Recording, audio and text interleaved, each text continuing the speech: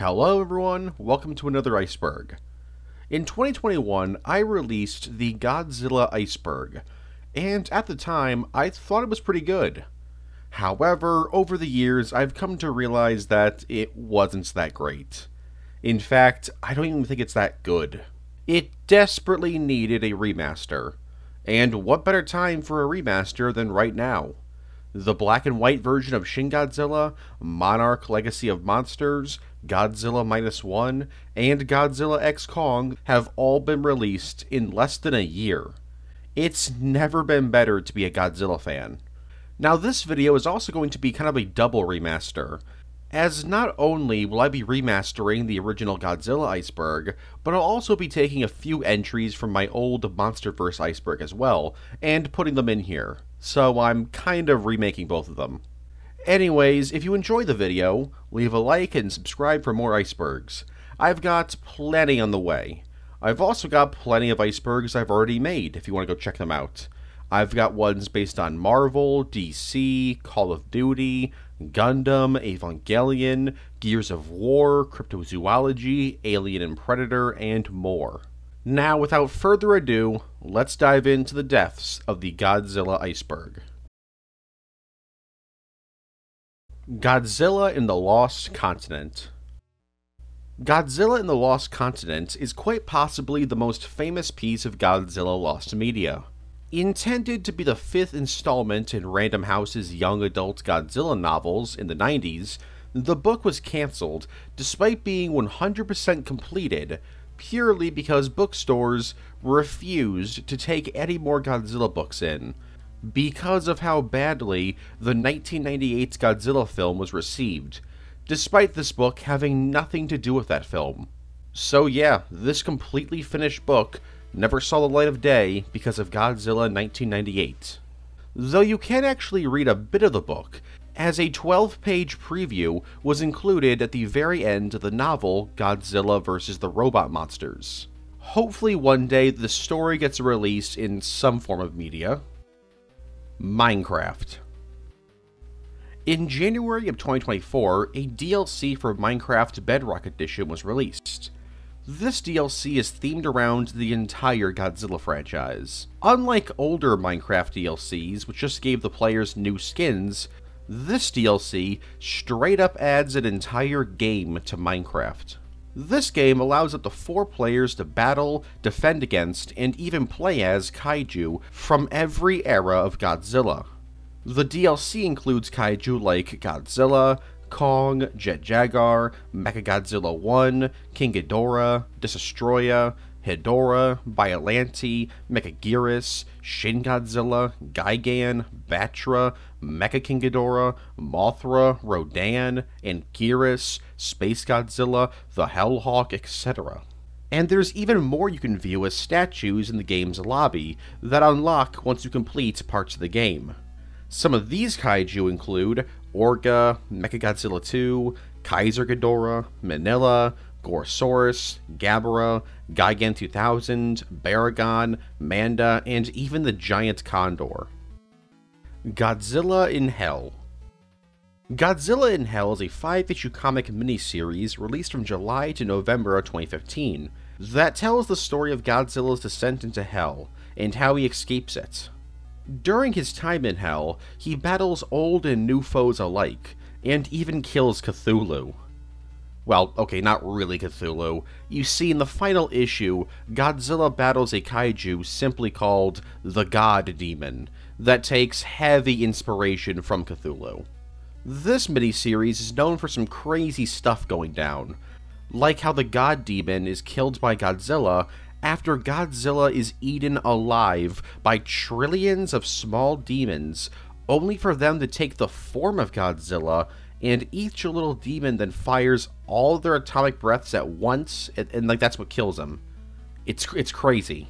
There's also demon versions of Ghidorah, Varan, Destoroyah, Anguirus, and Rodan. Also, Heaven itself attempts to recruit Godzilla into their army. But Godzilla refuses, and eventually both the angels of heaven and demons of hell begin worshipping him. Though Godzilla is just like, I don't care. and actually eats some of the angels and demons. A true Sigmazilla. This series is also notable because each issue was actually done by a completely different creative team. So you basically get five different takes on Godzilla going on a rampage in hell. Insert joke about Godzilla and Doomslayer working together to wipe out hell here. Dogzilla. Dogzilla is a children's book released in 1993, written by Dav Pilkey, and you may recognize it from your school library or Scholastic Book Fair.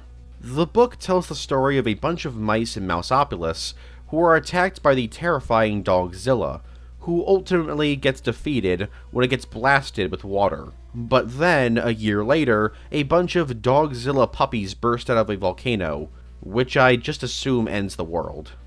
There was eventually a companion book made called Cat Kong, but no Dogzilla vs. Cat Kong book, which is kinda surprising.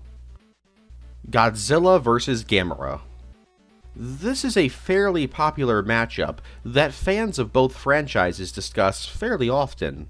To most people, it seems really weird that Japan's two most famous kaiju have never faced off against each other at any point. And while that's weird, it's not like they haven't tried to make this film. The most famous example was in 2002, when Kadokawa, the company that owns Gamera, approached Toho and offered to co-produce a film titled Godzilla vs. Gamera. And Toho declined the offer, and uh, went on to create the rest of the Millennium films, while Kadokawa made one more Gamera film, However, in September of 2023, the first ever official Godzilla and Gamera crossover was released. Was it a movie? A show? A comic? It was an event in the mobile game Godzilla Battle Line. Yeah, it's pretty underwhelming. The Godzilla comic. The Godzilla comic is a Japanese anthology manga that was released in February of 1990 and features 15 different stories, with each story being done by a different creative team. The genres of the stories range from being deathly serious to just being flat out comedies. Some stories include Godzilla battling Japanese idols who sing to calm him down, a story where Godzilla battles a samurai in feudal Japan, a parody of all the conference scenes seen in a lot of Godzilla films, and a story in which a cameraman falls in love with an alien attempting to mind control Godzilla. Overall, it's a crazy manga with some really great art. The manga would receive a sequel in January of 1992, titled The Godzilla Comic Raids Again, this time only featuring 10 stories. I'll go further into detail about a few of these stories featured in these books later, as I feel they deserve their own spots on the iceberg for just how weird they get. Hanna-Barbera Godzilla the original animated series was a Hanna-Barbera cartoon released from September of 1978 to December of 1979. It was produced by both Toho and Hanna-Barbera, and was the first animated Godzilla project to ever be released and the first Godzilla series to air in the United States. The show is essentially a Monster of the Week style show in which Godzilla, voiced by Ted Cassidy, battles various monsters throughout the city. While the show does have a cult following, it's kind of become forgotten to time, as outside of Godzilla, not a single other monster from his rogues gallery appears in the series. The closest we get is a kinda new version of Minilla named Godzooky, who is basically just Godzilla's Scrappy Doo. But what's interesting about this version of Godzilla is that he's technically one of the tallest Godzillas ever, standing in at 400 feet. He also looks very different than any other Godzilla that's come before and since, looking more like Reptar from Rugrats. The show lasted for 26 episodes and hasn't really gotten much attention since its final episode aired. That was until 2021, when in Godzilla Singular Point, you can actually see Godzooky's arm and wing as a plush toy, along with a cartoon version of Godzilla Jr., the Giant Turtle, and the Komodithrax from the 1998 cartoon. Although, there was a short film released in 1999 titled Godzilla vs. the Y2K Bug, in which the human characters from the show have to face off against the Y2K Bug Kaiju. They try to get Godzilla to fight him, but because they forgot to replace the Godzilla signal's microchips, they can't. So I guess they die? And I guess that's how the Hanna-Barbera Godzilla continuity ends. Godzilla vs. Charles Barkley Godzilla vs. Charles Barkley is a 1992 commercial for Nike that was heavily promoted. The commercial featured Godzilla battling a giant Charles Barkley in a basketball game for the fate of Japan. Godzilla puts up a decent fight, but is ultimately defeated by Barkley. Though they bonded over the course of the commercial, and by the end they're friends, with Barkley even recruiting Godzilla into the Lakers basketball team.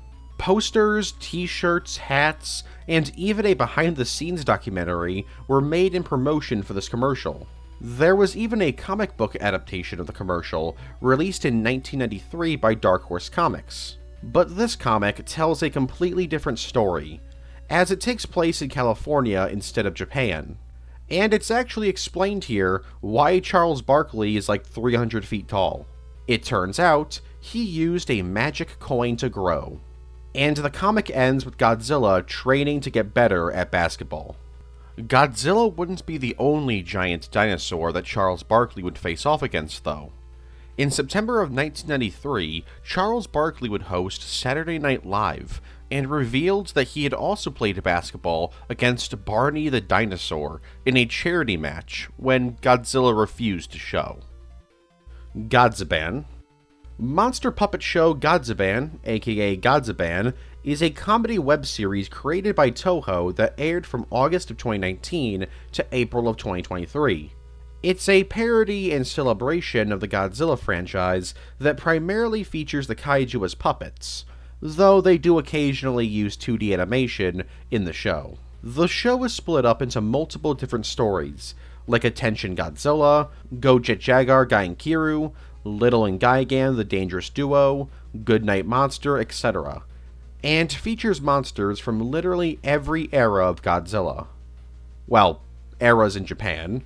I don't think there's any Monsterverse rep in the series.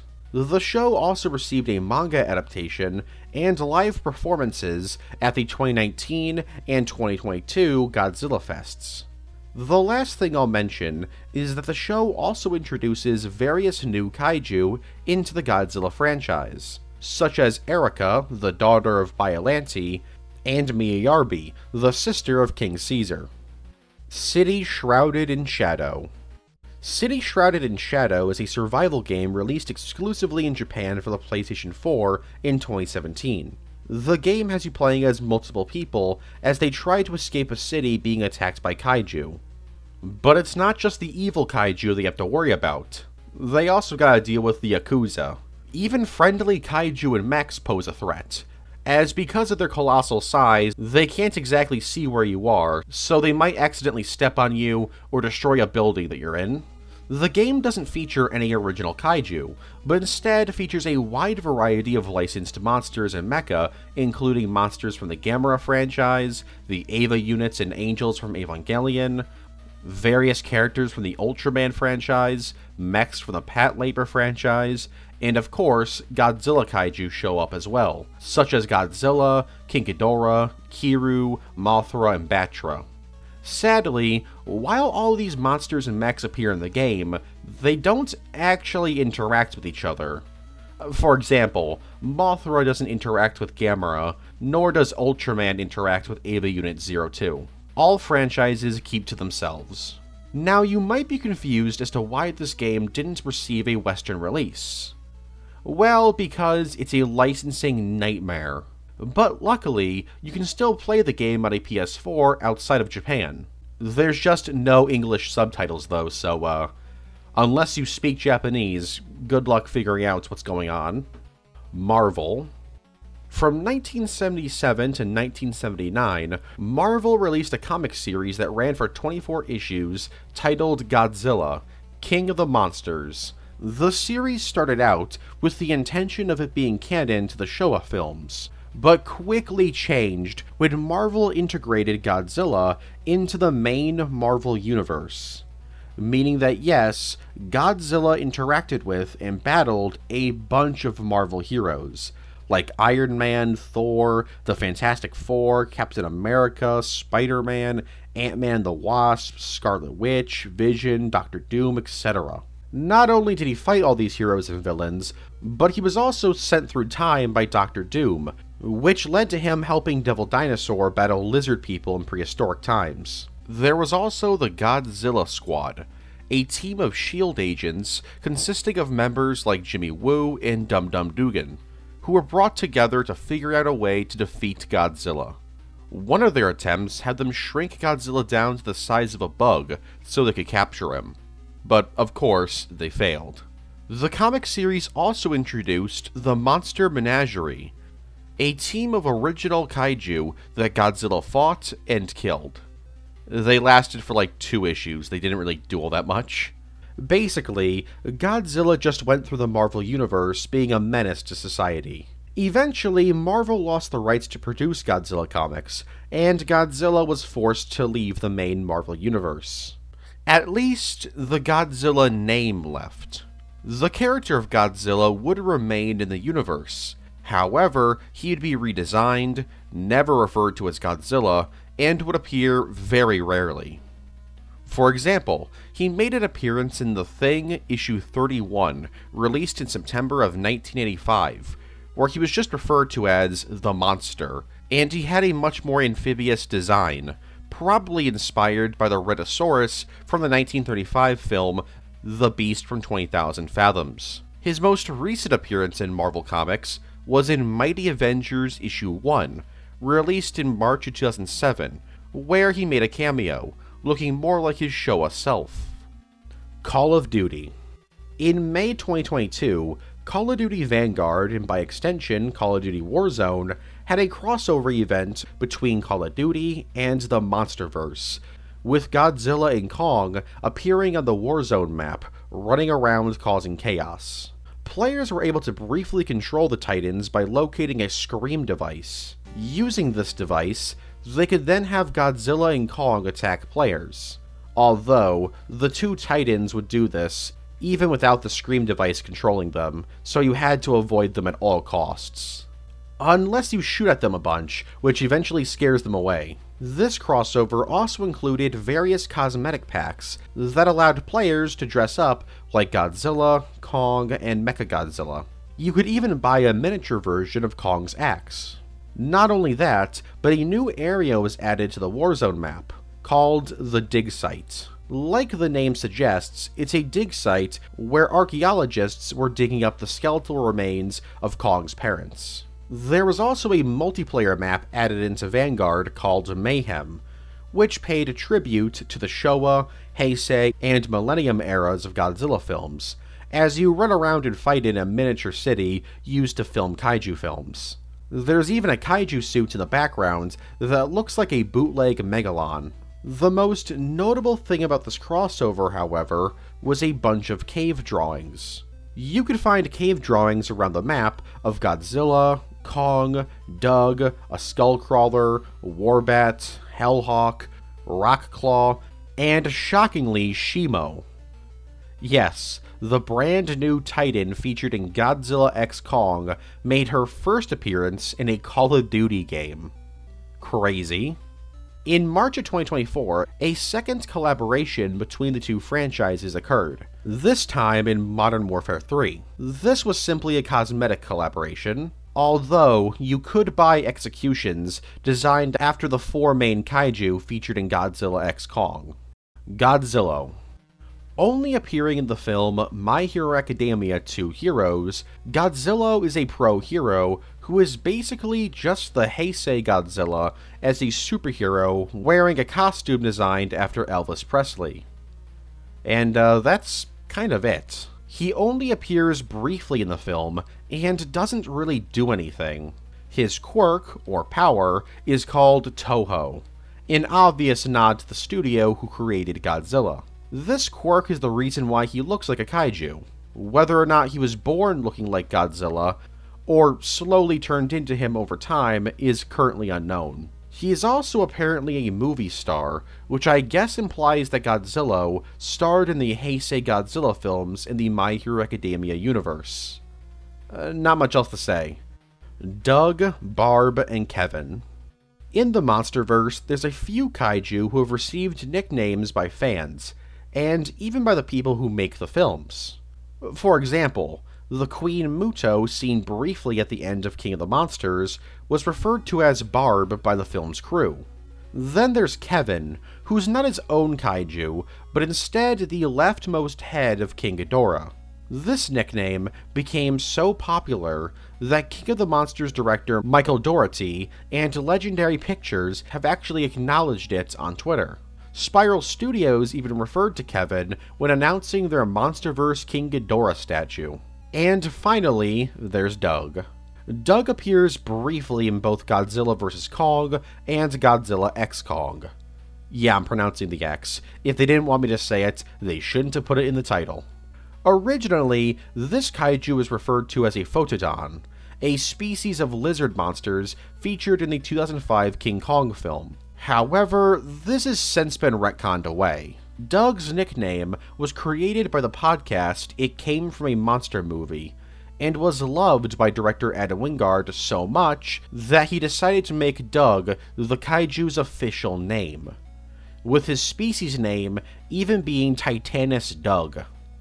Godzilla vs. Zilla. Here's a quick quiz. Which one of these pictures isn't Godzilla?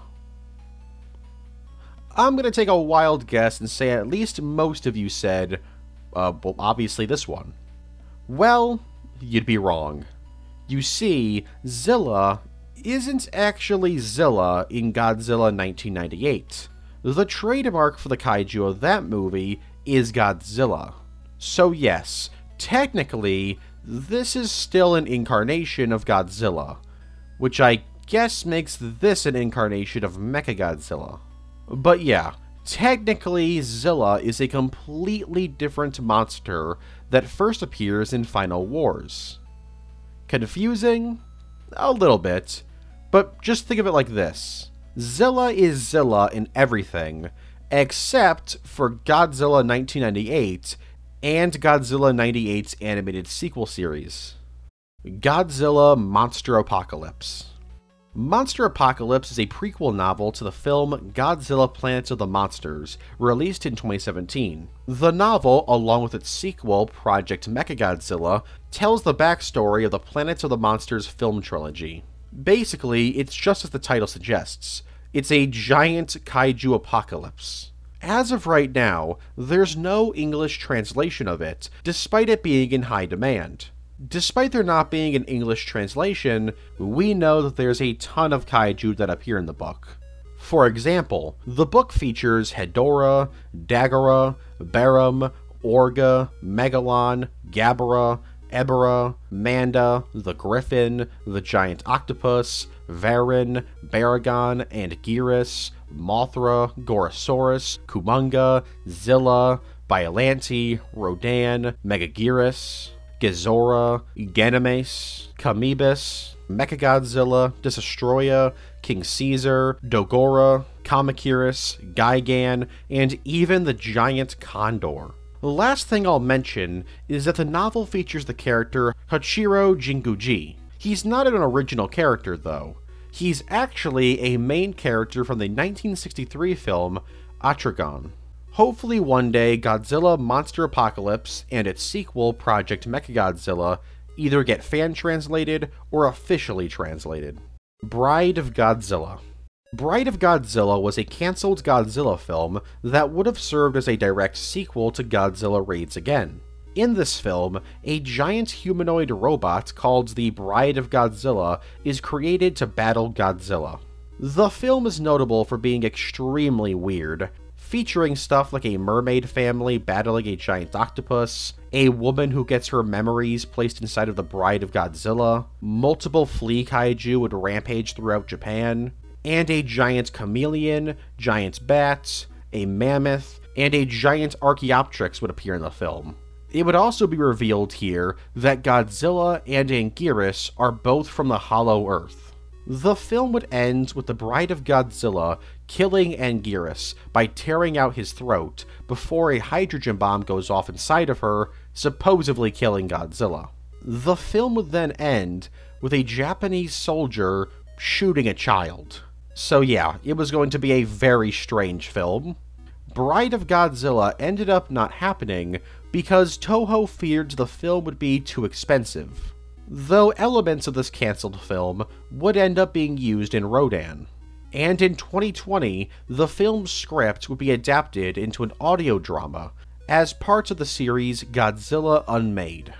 Gigabash. Released in August of 2022 for PC, PS4, and PS5, and August 2023 for the Nintendo Switch, Xbox One, and Xbox Series XS, Gigabash is a kaiju fighting game developed by Passion Republic Games and is heavily inspired by the Pipeworks Godzilla trilogy from the 2000s. The game features various original kaiju you can either play as or fight against in offline and online battles. However, Gigabash would receive a licensed kaiju with the Godzilla pack that includes Godzilla, Gigan, Mechagodzilla 3, or Kiryu, and Destoroyah. This DLC released in December of 2022, and these kaiju play similar to how they did in the Pipeworks games with Gigan's block special acting the exact same as it did in Destroy All Monsters Melee and Save the Earth. Gigabash would also receive a DLC for the Ultra series, and this DLC included Ultraman, Ultraman Taiga, Alien Baltan, and Kamiria. Although, because of regional restrictions and licensing agreements, this DLC is actually not available in China or Japan. As for whether or not this game will receive more Godzilla content, it's possible. In December of 2023, the founder of Gigabash put up a poll on Twitter to see what fans wanted from the studio. And the top two answers were more crossover DLCs and a full on Godzilla video game. Whether or not this actually means anything is currently not known, but hopefully this is teasing a future Godzilla fighting game. King Kong vs. Godzilla alternate endings? For decades, rumors went around that there were actually two different endings to King Kong vs. Godzilla, one of which Godzilla wins, and the other Kong wins. The Godzilla ending was played in Japan, while the King Kong ending was played in America. And because these rumors went around for so long, they basically became fact to most people. But in reality, there is no alternate ending in which Godzilla wins. The rumor started in 1963 by an American magazine called Spaceman, where an article states, quote, Two endings have been filmed, and if you see King Kong vs. Godzilla in Japan, Hong Kong, or some uh, word I cannot say, sector of the world, Godzilla wins. On the other hand, in the USA and England, for instance, Kong wins. And because the Japanese version of King Kong vs. Godzilla wasn't released in the United States until 1985, most people just looked at this article and went, yeah, yeah, it's true. The only truth to this rumor is that in the Japanese version of the film, the characters in the film speculate that Godzilla might still be alive at the end, followed by Godzilla and Kong's roars. While in the American version, they just say they hope to have seen the last of both Kong and Godzilla, followed by only Kong's roar. But oh well, Godzilla kicked Kong's ass in Godzilla vs. Kong in 2021, so you know what? Doesn't matter. Justice League vs. Godzilla vs. Kong. Beginning publication in October of 2023, Justice League vs. Godzilla vs. Kong is a seven issue long crossover series between the Monsterverse and DC Comics. Written by Brian Buccellato, this series sees the titans of the Monsterverse Godzilla, Kong, Behemoth, Mechagodzilla, Scylla, Tiamat, and some Skullcrawlers being transported to the DC universe by Toyman in order for them to do battle with various DC heroes and villains and the Titans do just that, with pretty much all the Titans attacking iconic DC locations, like Metropolis, Gotham City, Atlantis, etc. Even DC original kaiju appear in the story, like Titano the Super Ape and a Kraken. Kind of annoying that the Kraken in the story is just like a normal looking Kraken, and not the Monsterverse Kraken from Skull Island. Seems like a missed opportunity, but whatever. Anyways, I don't want to talk too much more about the story, as it's still ongoing, so if you're interested in the story, go check it out. Shin Godzilla First Form In Shin Godzilla, Godzilla goes through five different forms. The second through fifth forms we actually see in their entirety, but to this day, his first form is still a mystery. In fact, all we see of this form in the film is its tail and back.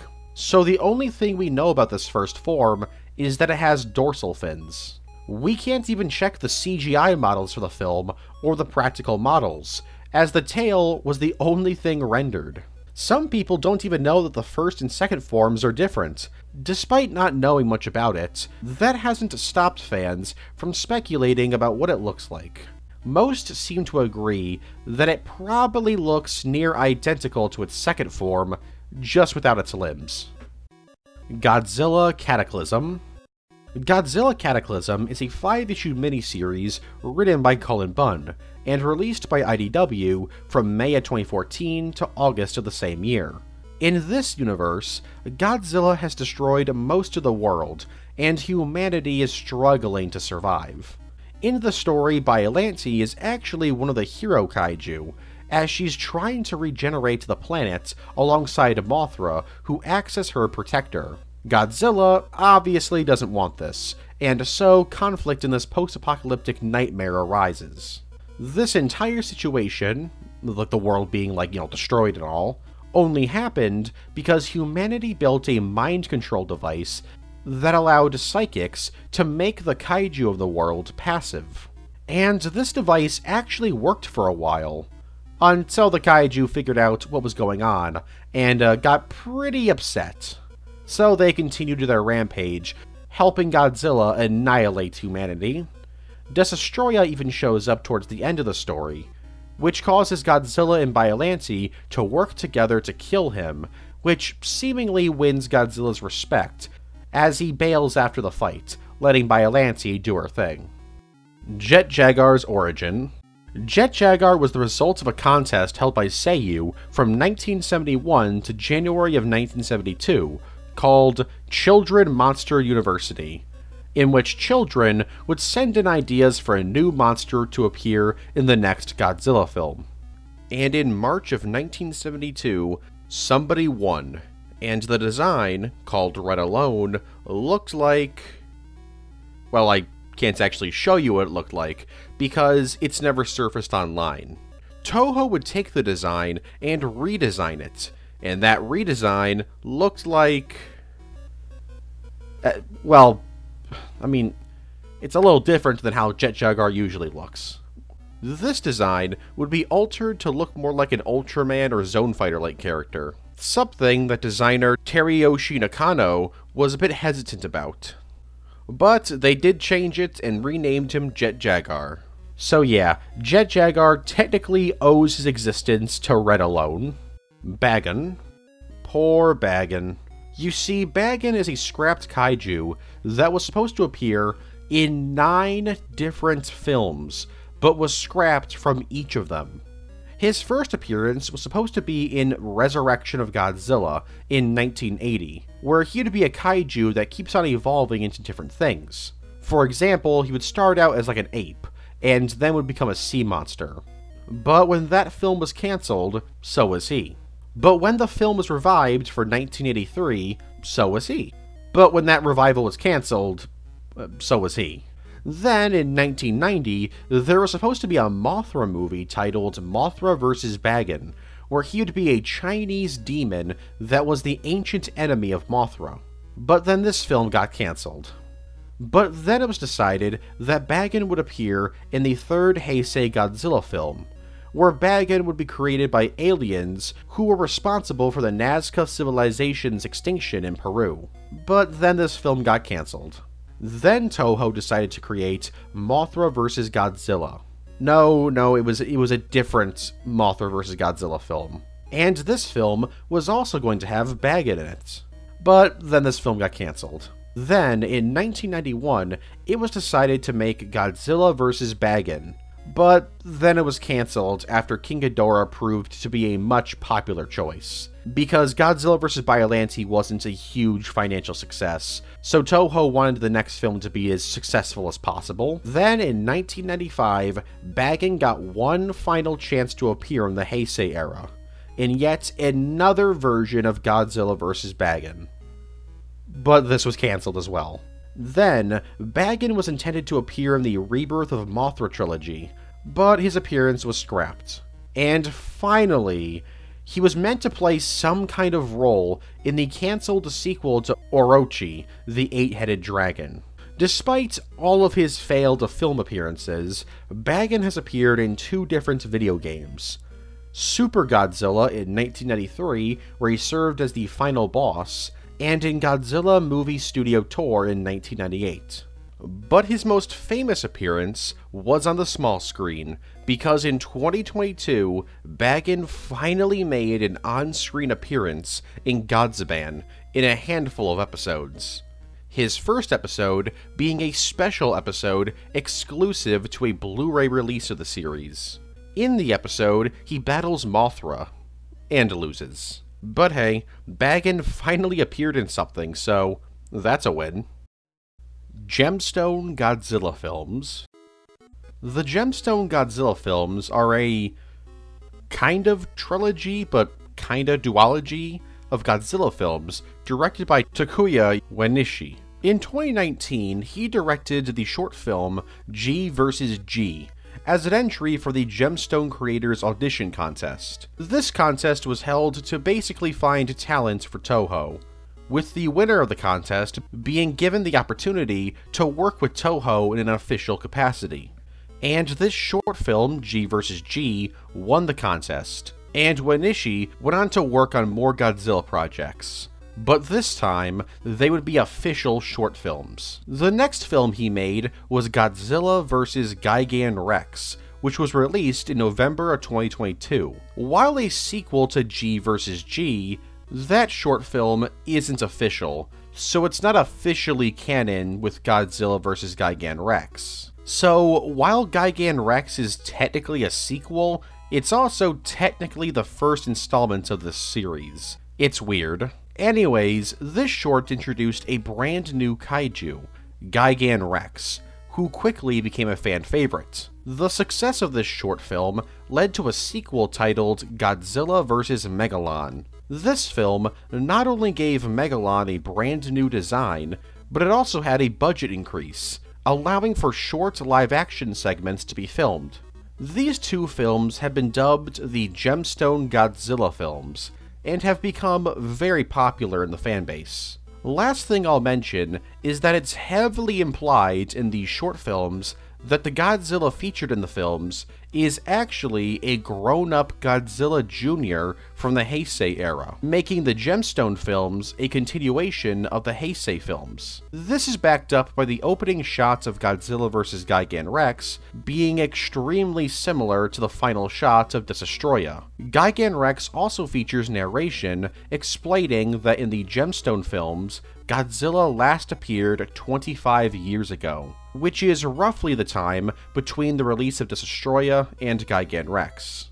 Despite it being pretty obvious that this is meant to be a continuation of the Heisei era, Toho have not commented on this, so as of right now, it's just a fan theory.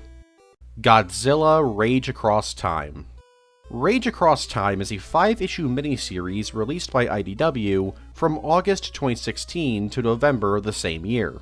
The story is about how, in the modern day, scientists discover that Godzilla, and other kaiju like him, have actually appeared throughout human history, with each issue of the comic featuring Godzilla and other kaiju going on a rampage throughout history. These eras in history include 1274 Japan, where Godzilla shows up and battles Gigan and Megalon, who are under the control of the Mongols.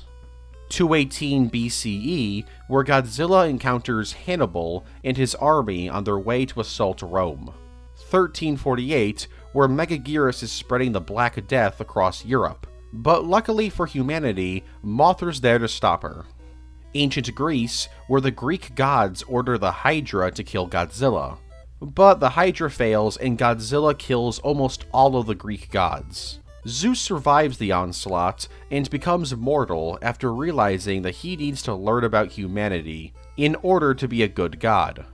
And so, now immortal, he decides to settle down in Pompeii. And uh, yeah, then Godzilla shows up and uh, Pompeii happens.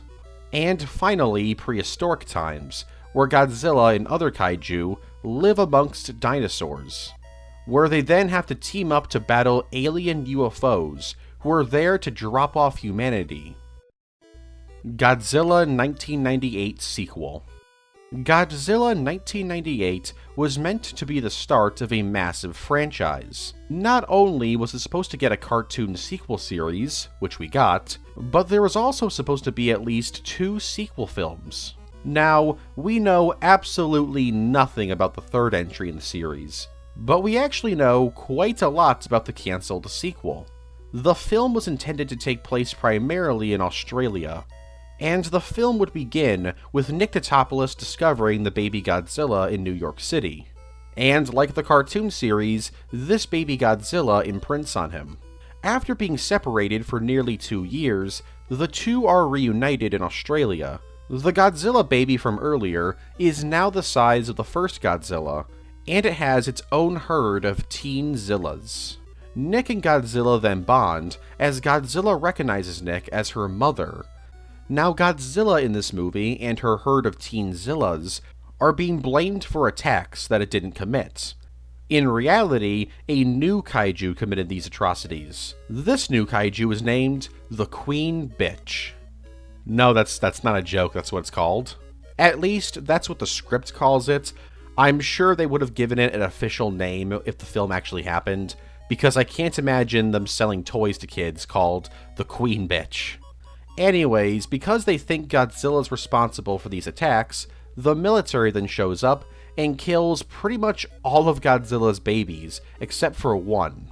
And now that most of the Godzilla babies are gone, the Queen Bitch begins to spread her swarm across Australia. Godzilla eventually shows up and helps out the military and battles the Queen Bitch. She would ultimately kill the Queen and swim off to Monster Island with her last surviving baby. And that's how the film would end. Here's a makeup tip from Godzilla. To make a prominent nose look smaller, paint your eyes up to look bigger. Thanks, Godzilla.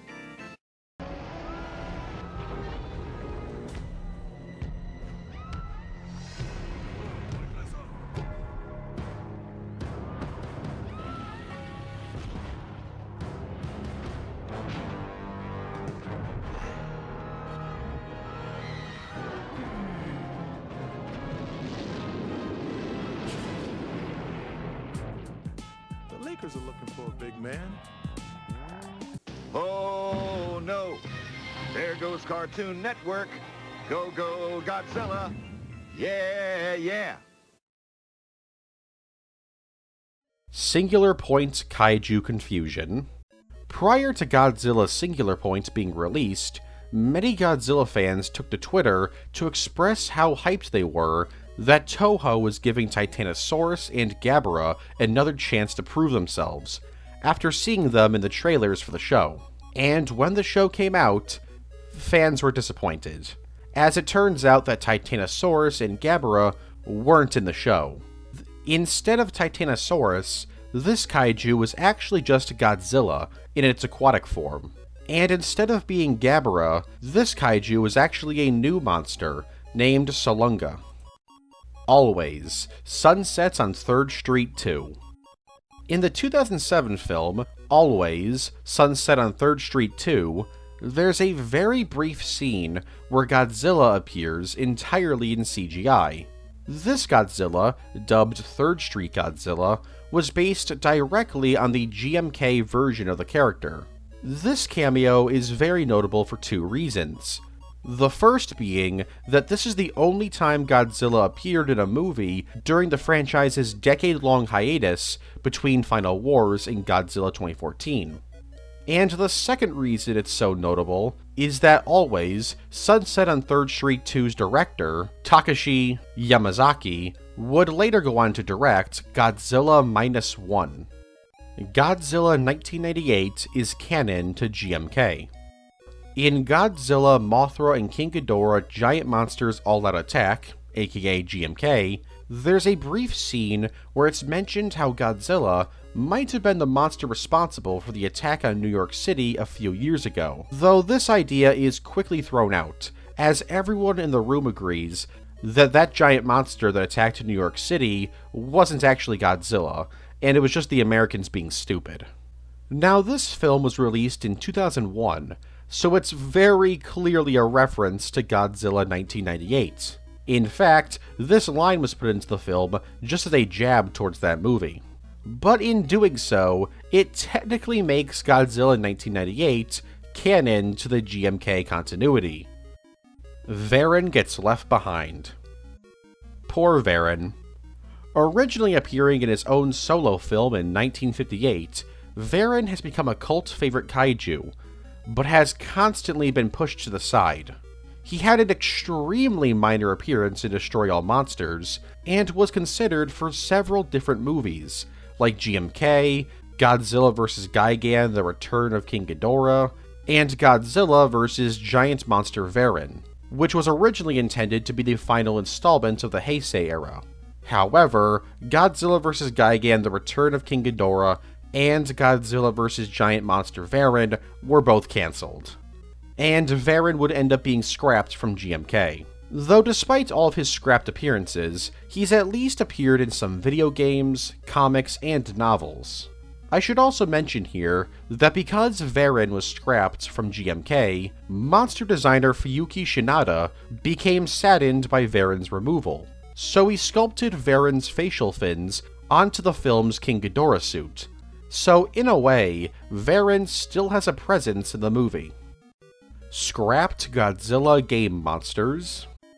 Like any fighting game, the Pipeworks Godzilla games and Godzilla PS4 have some scrapped fighters. Here's the ones we know about. For Godzilla Destroy All Monsters Melee, Jet Jaguar was supposed to be in the game, but for whatever reason, Toho refused to let Pipeworks use him. Godzilla 1954 and Space Godzilla were also considered for the game. And finally, there's Baragon, who was cut from the game despite being about 70% complete. For Godzilla Save the Earth, there's Batra, Super Mechagodzilla, Titanosaurus, Hedorah, Godzilla 1954, the Showa Mechagodzilla, and Varan. Biollante was also going to be in the game, and was even completed. However, because development on her was behind schedule, Atari couldn't get the license in time for the character, so she went unused in the final game. And finally, Star Falcon would have been an alternate form for Moguera, but was scrapped during development. For Godzilla Unleashed, Hedorah, Mechani-Kong, and Monster X, aka Kaiser Ghidorah, were intended to be part of the Aliens faction in the game, while Bagan and Zilla were intended to be part of the Mutants faction. And finally, King Kong was intended to be in the game as well, and would have been part of the Earth Defenders faction, along with Gamera, but both of them were scrapped due to licensing issues. It's also worth mentioning here that Batra and the Showa era Gigan were exclusive characters for the PS2 version of the game. It's unknown if they were considered for the main Wii version of the game, but if they were, they obviously didn't make the cut. And those were the licensed characters that were cut from the game. There's actually three more monsters that were cut, as during the game's development, a poll was put out to let players vote on an original kaiju that would appear in the game. And Obsidius was the kaiju who won. The ones who didn't make it were Fire Lion, Lightning Bug, and the Visitor. And finally, for Godzilla PS3 slash PS4, King Ghidorah from the Rebirth of Mothra 3 was planned to be in the game, but was replaced instead with the Heisei Ghidorah, due to Rebirth of Mothra's Ghidorah's power set and design being too complex for the developers to work on during the time constraints put on the developers. King Kong and Zone Fighter were also considered for the game. Monster X, aka Kaiser Ghidorah, was also going to be in the game, but was scrapped due to the time constraints I mentioned earlier. And finally, Mecha King Ghidorah was planned to appear in the PS3 version of the game, but was cut. Luckily, he does show up in the PS4 version. King Caesar's Forgotten Ability. Strangely, in Godzilla vs. Mechagodzilla, the black hole alien leader mentions that King Caesar could rouse other monsters if he's awakened. And in the film's official English dub, the black hole alien leader says, quote, We'll be in trouble if King Caesar brings other monsters to life. So, does this mean that King Caesar has the ability to bring kaiju back to life? Nobody knows. It's possible this was leftover dialogue from a scrapped plotline, but regardless, it's never been brought up ever again in any piece of Godzilla media since. Mega Godzilla. In early 2020, there was a toy leak for Godzilla vs. Kong. And one of these toys was called Mega Godzilla, that had Godzilla wearing red power armor. Most people assumed that this was just a toy exclusive gimmick. However, Mega Godzilla was at one point going to be in the movie. According to VFX artist Richard Cow, who worked on the Hong Kong fight in GVK, Mega Godzilla was going to be in the film at some point, but in late 2020, it was removed from the film for an unknown reason. Probably because Legendary realized that uh, it was kind of stupid. And when this aspect of the film was cut, the Mega Godzilla toy was cancelled. As to what exactly Mega Godzilla was, we don't really know although rumors state that in the original version of Godzilla vs. Kong, Godzilla was going to be controlled by Apex, who were using an upgraded form of the Orca from King of the Monsters. Godzilla Island Godzilla Island was a show that ran from October of 1997 to September of 1998.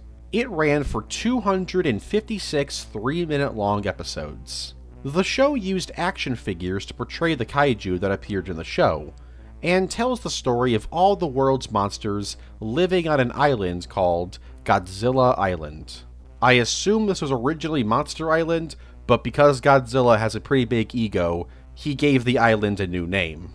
Anyways, with all the world's kaiju living there, they get up to some crazy situations. Especially when aliens attempt to invade the island. The show also features various human characters that are filmed in live action. The show was fairly lighthearted, and featured various kaiju that have never appeared in anything else, like Medical Jet Jaguar, Firefighter Jet Jaguar, Black Mechagodzilla, Neo Hedorah, Hyper Mecha King Ghidorah, and Super Special Space Godzilla High Grade Type 2 basically just variations of other kaiju. Godzilla and Evangelion. So Godzilla and Evangelion have a bit of a history together. And by history, I mean none.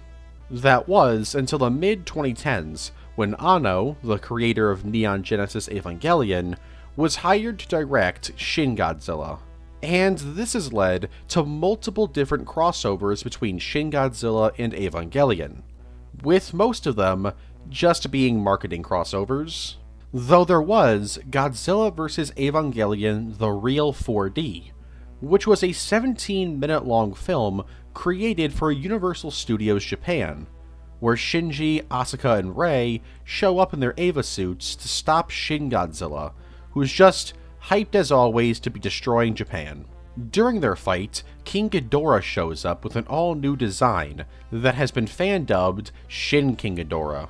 His arrival causes Godzilla and the Evas to team up to save the day. Wait a second, does this mean that in this continuity, Shin King Ghidorah and Shin Godzilla are both angels? There's also P Godzilla vs. Evangelion, G Cell Awakening, which is a pachinko game with a story. The story involves Rei being taken over by King Ghidorah's aura, and becomes Ghidorah Ray. So Godzilla and the Eva pilots are then forced to work together to defeat her and King Ghidorah. Also, Godzilla mutates Eva Unit 1 with his atomic breath, which gives Eva Unit 1 a Godzilla mutation. Side note, Ghidorah has an angel core in this, so I guess at least he's an angel. Jury's still out on Shin Godzilla.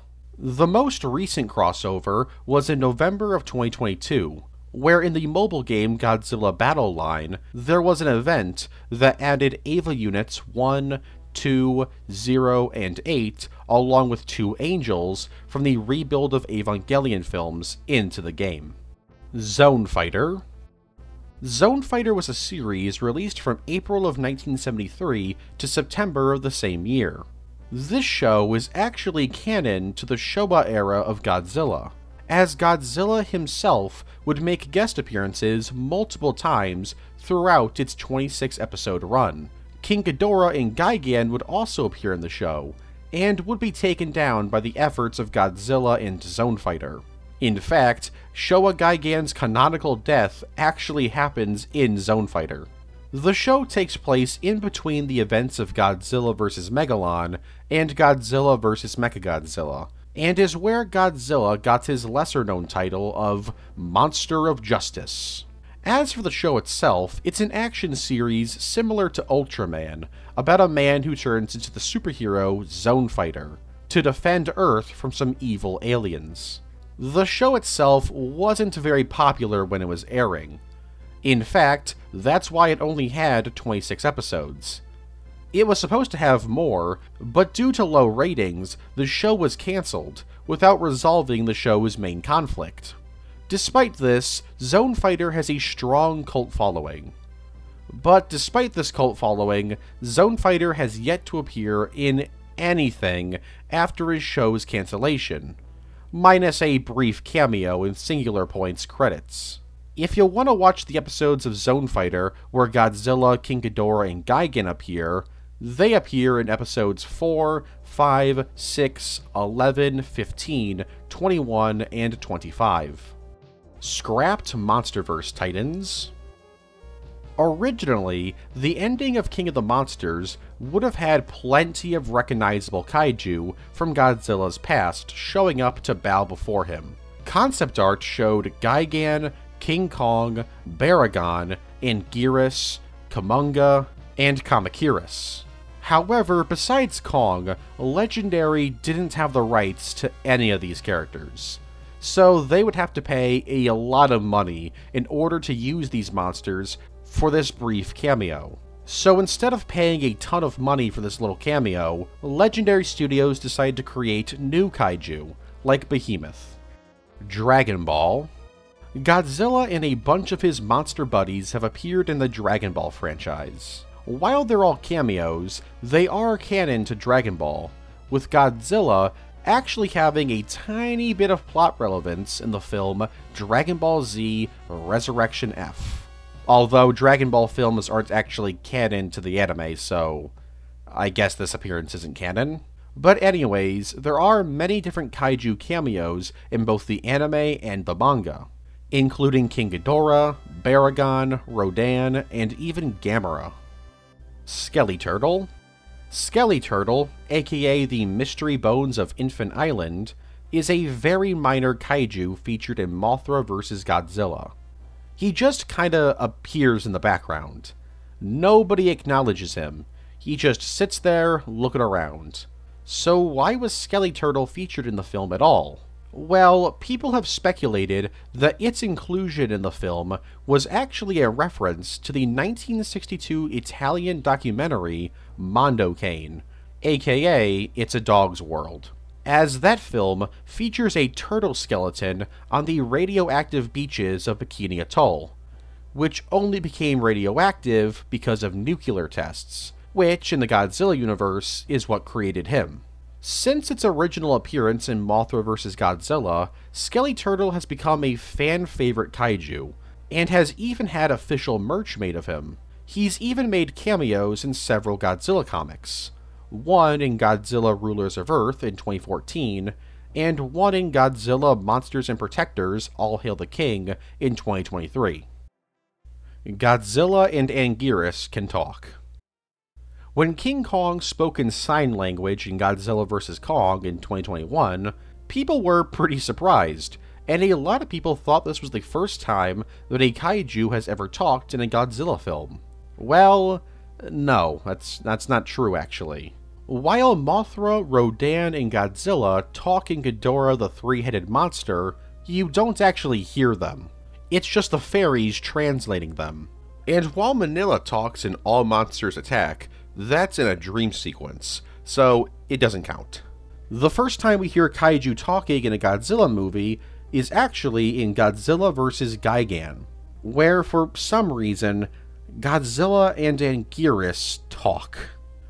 In the original Japanese cut of the film, we only see speech bubbles around them as they talk. But in the English dub, both Godzilla and Anguirus talk, and it's as weird as you'd think it would be.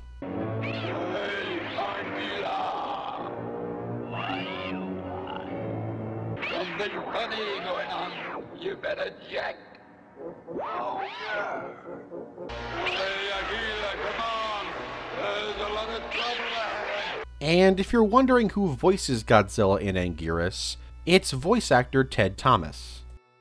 Godzilla 3D also known as Godzilla 3D to the Max, was a cancelled IMAX 3D Godzilla film that was in development from 2003 to 2009. It would have included a new kaiju called Deathla, which would be hundreds of little kaijus that looked like locusts that would destroy the Amazon rainforest, the Bahamas, and Denmark for some reason. Anyways, Godzilla would show up to stop him, and all these little locusts would then merge into one kaiju, and there would be a battle across the globe. And in order to chase Deathla around the world, Godzilla would once again take to the skies. No, this isn't a joke, they actually were going to bring this power back. Which makes sense, because Godzilla 3D to the Max would have been directed by Yoshimitsu Banno, the director of Godzilla vs. Hedorah.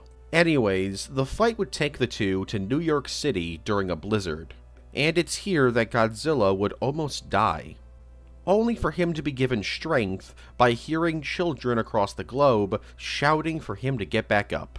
So Godzilla would get up and save the 9-11 monument and force Deathla to abandon Earth. Godzilla would then travel to the Amazon rainforest, then wink at the camera and disappear. This film would be in development hell for about six years before it was finally cancelled in 2009. Though this film would actually inspire Legendary Pictures to make their own Godzilla film. So, in a weird way, Godzilla defending the 9 11 monument and being cheered on by children across the globe gave us the Monsterverse, which in turn gave us Shin Godzilla. More on that later. Continuation King Kong vs. Godzilla. In 1963, Toho began work on a direct sequel to King Kong vs. Godzilla, titled Continuation King Kong vs. Godzilla. Though this was only the working title, the name probably would have been changed if the film actually happened. Anyways, a screenplay was written by Shinichi Sekizawa, the writer for Varan, Mothra, and King Kong vs. Godzilla. The plot would have revealed that Godzilla was actually killed by Kong at the end of the first film. Meanwhile, King Kong would be living in Africa and would begin to stalk a Japanese search party looking for a missing person and missing baby. Kong begins to cause some trouble, which requires the JSDF to revive Godzilla, whose corpse is being used in a theme park. They do this so that Godzilla can kill Kong.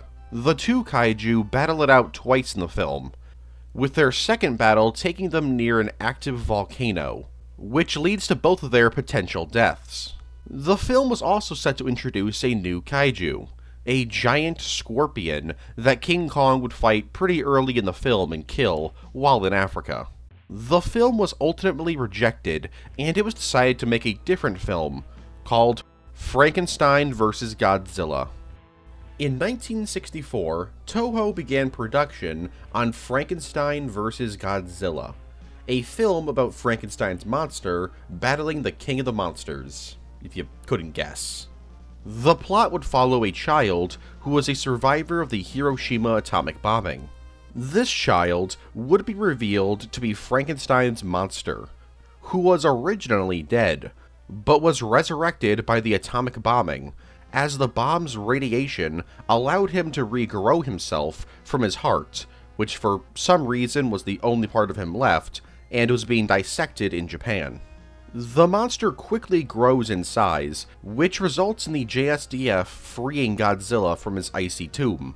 Yeah, after battling King Kong, Godzilla would be frozen yet again.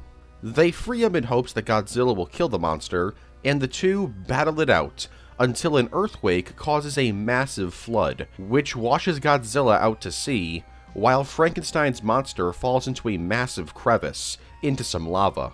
Toho would eventually cancel the film, though elements of its script would be reused for two future films Mothra vs. Godzilla and Frankenstein vs. Baragon.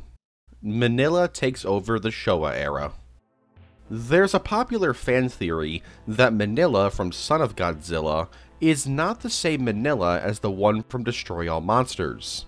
There's multiple reasons as to why people think this. For starters, Minilla in Destroy All Monsters can no longer use his atomic breath, which Minilla at the end of Son of Godzilla was able to do. And in the film's timeline, Destroy All Monsters takes place 32 years after Son of Godzilla. So why hasn't he grown up to be like Godzilla in that time? Well, there's two theories. Some say that Minilla died in between the events of the films, and that the Minilla in Destroy All Monsters is actually a new Minilla that Godzilla found. But there's another theory that the Godzilla from Godzilla vs. Hedorah all the way to the end of the Showa era is actually Minilla all grown up. The only real evidence for this is that the suit used to portray Godzilla in Son of Godzilla looks extremely battered and older than the other suits, so maybe shortly after Son of Godzilla, he passed away, and Minilla grew up and took on his own Minilla son.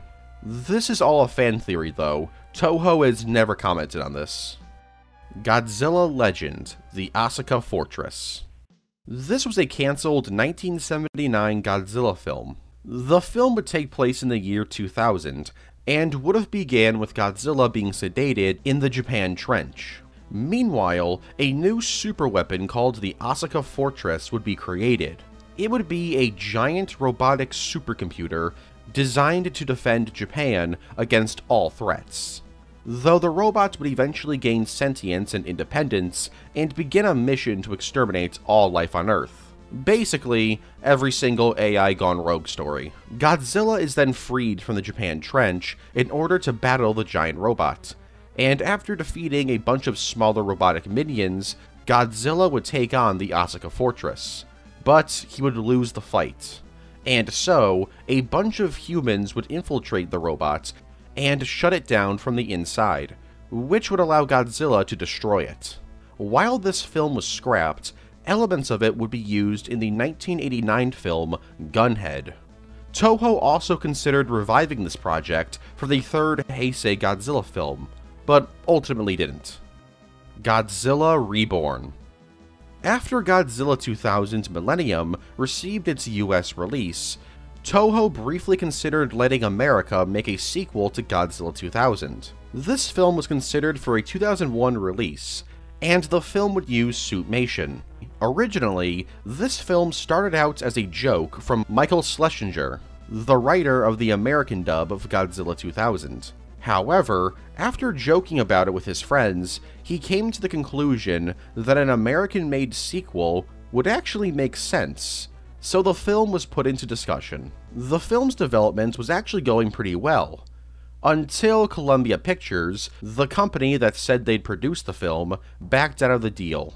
And the film would be cancelled shortly afterwards due to financial troubles caused by Columbia Pictures backing out. As for the film's plot, we actually know a little bit about it. The film would take place primarily in Hawaii, and Godzilla would battle a new kaiju named Miba, a giant lava bat kaiju. Godzilla would be killed by the US military midway through the film. But when the US military realized that they can't stop Miba, they would clone Godzilla to fight him. Toho apparently really liked the script. However, they requested Godzilla not die, and instead be put into a coma. Schlesinger would agree, but it didn't matter in the end, because the film got cancelled.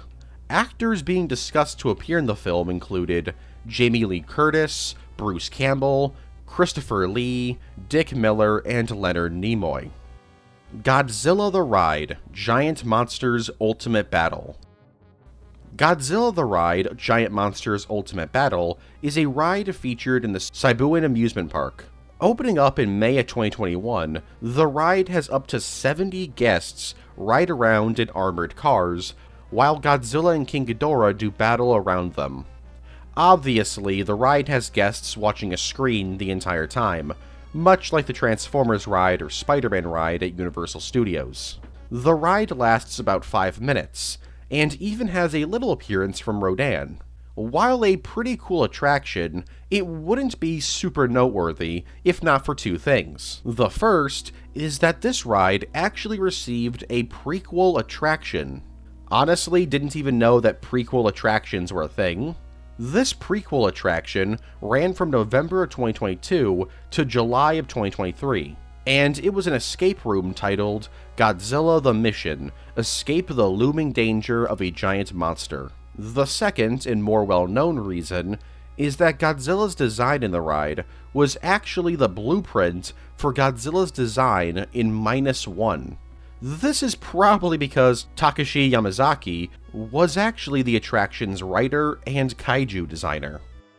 90s Godzilla vs. King Kong the third installment of the Heisei series was originally intended to be a rematch between Godzilla and King Kong. All we know about this film's plot was that King Kong was going to fall in love with a human scientist, who would go on to later turn him into a cyborg. The film never happened for one major reason. Turner Entertainment, who held the King Kong IP, demanded royalties for the use of the character. And so, instead of paying for the monster, Toho was like, we'll just do Godzilla vs. Mechani Kong. But even though Toho owned Mechani Kong, because Mechani Kong was so similar to Kong's likeness, it would have been difficult to avoid Turner Entertainment getting mad again. So Toho just decided to make Godzilla vs. King Ghidorah. Godzilla vs. Barubaroi. This is a cancelled Godzilla film that was meant to be the final installment in the Heisei era. The plot revolved around Godzilla, who was nearing the end of his life. Instead of just chilling out until he passes away, Godzilla's gotta battle a new kaiju born from the Oxygen Destroyer, Barubaroi.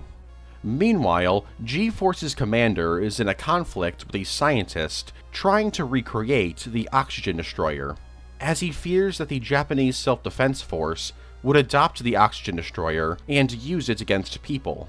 Also, the Gotengo would make its Heisei era debut, this time being an upgraded version of the Super X. Anyways, back to Barubaroi, his whole thing would be absorbing stuff, and would attempt to absorb Godzilla during the final battle. This would prove to be his downfall, as because Godzilla's dying, the cell he absorbs from Godzilla actually end up killing him. Godzilla would then die, and Godzilla Jr. would turn into the new Godzilla, and watch his father's body crumble into ash. Oh, and this film would have also featured the Anguirus Hound, a new take on Anguirus.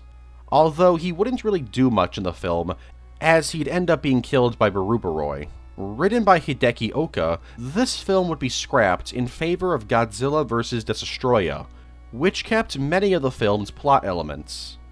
The 2020 Godzilla Cinematic Universe. In 2018, it was announced by Toho that they'd be creating their own Godzilla Cinematic Universe starting in 2020, after Godzilla vs. Kong was released. The announcement read, quote, After 2021, we're thinking of a potential strategy that releases Godzilla movies uninterrupted at a rate of every two years. Although there is a preference for a yearly pace as well. The future of the series and its forwarding developments are very conscious of the method of shared universe. Godzilla, Mothra, King Ghidorah, etc., could all share a single worldview, much like a Marvel movie, where Iron Man and the Hulk can cross over with each other. It is said that each movie can be a possible film production where any one of them could lead a film of their own, as the titular character. This cinematic universe has been nicknamed World of Godzilla. Now, obviously, no Godzilla cinematic universe was started in 2020 or 2021. However, with the release of Minus One, many believe Toho is now finally starting their cinematic universe. However, as of right now, no sequel to Minus One has been announced by Toho. In fact, Toho's announced that they're ta- taking their time with Godzilla films to assure their quality, which is very different from their original announcement of potentially yearly releases. Dive, dive, dive! Godzilla heads for the murky depths of Cartoon Network for a little R&R. Await his return, mortal.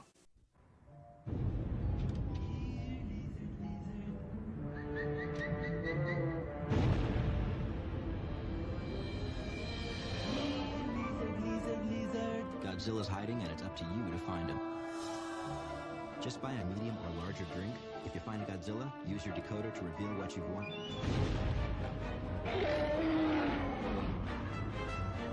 Uh-oh. I think I need a bigger box. Remain still, Cartoon Network viewers. Do not provoke Godzilla.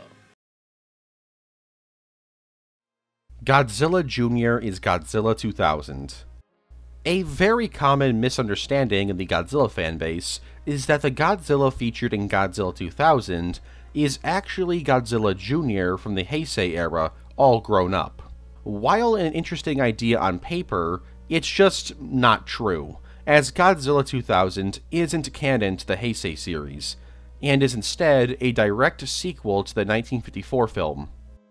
Pacific Rim crossover. Because both the Monsterverse and Pacific Rim films are owned by Legendary, there's been talks of a Monsterverse and Pacific Rim crossover, despite that being quite impossible in universe. The only way that this could work is that the Jaegers from Pacific Rim somehow traveled to the Monsterverse through that portal at the end of Uprising in an attempt to kill all kaiju.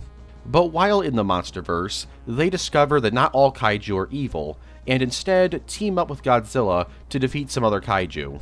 And then they just, like, leave, I guess. Maybe they could also set up Jet Jaguar as a Jaeger being controlled by an AI. Legendary, hire me, I'll write the film. Anyways, it doesn't seem like Pacific Rim and the Monsterverse will be crossing over, after the critically panned and box office bomb that was Pacific Rim Uprising. Which is sad for those wanting a crossover, as the writer of Pacific Rim Uprising, Steven S. DeKnight, confirmed on Twitter in February of 2021 that he had actually planned on ending Pacific Rim 3 in a way that somehow, quote, married the two universes. But technically, a crossover between Pacific Rim and Godzilla has already happened. In Pacific Rim Uprising, the skulls of Gigan, Batra, Baragon, and the MUTOs briefly appear on screen. God Godzilla. God Godzilla is an unofficial Godzilla variation that appeared in the worst case invasion of Earth, an Ultra 7 Dojin. God Godzilla is an enormous Godzilla variation with giant wings that form a cape. He's also constantly glowing. Basically, think of this Godzilla as like the ultimate Godzilla. Now, for whatever reason, people often mistake God Godzilla for being an official Godzilla variation, despite that not being true. He's from a dojin, a fan created work. It's still a pretty cool design, but it's not official, so don't expect to see any Godzilla media ever referencing this. Godzilla vs. Chaos. This was a scrapped Godzilla film that would have served as the final entry in the Heisei era. This film would be about a three way battle between Godzilla, Godzilla Jr., and the new alien kaiju, Chaos, who was using the bioenergy from the ghost of the original Godzilla to make him stronger. Outside of that, nothing else is really known about this scrapped film. Because there's so little information about this movie, I'm just going to assume that the chaos in this film was actually perfect chaos from Sonic Adventure.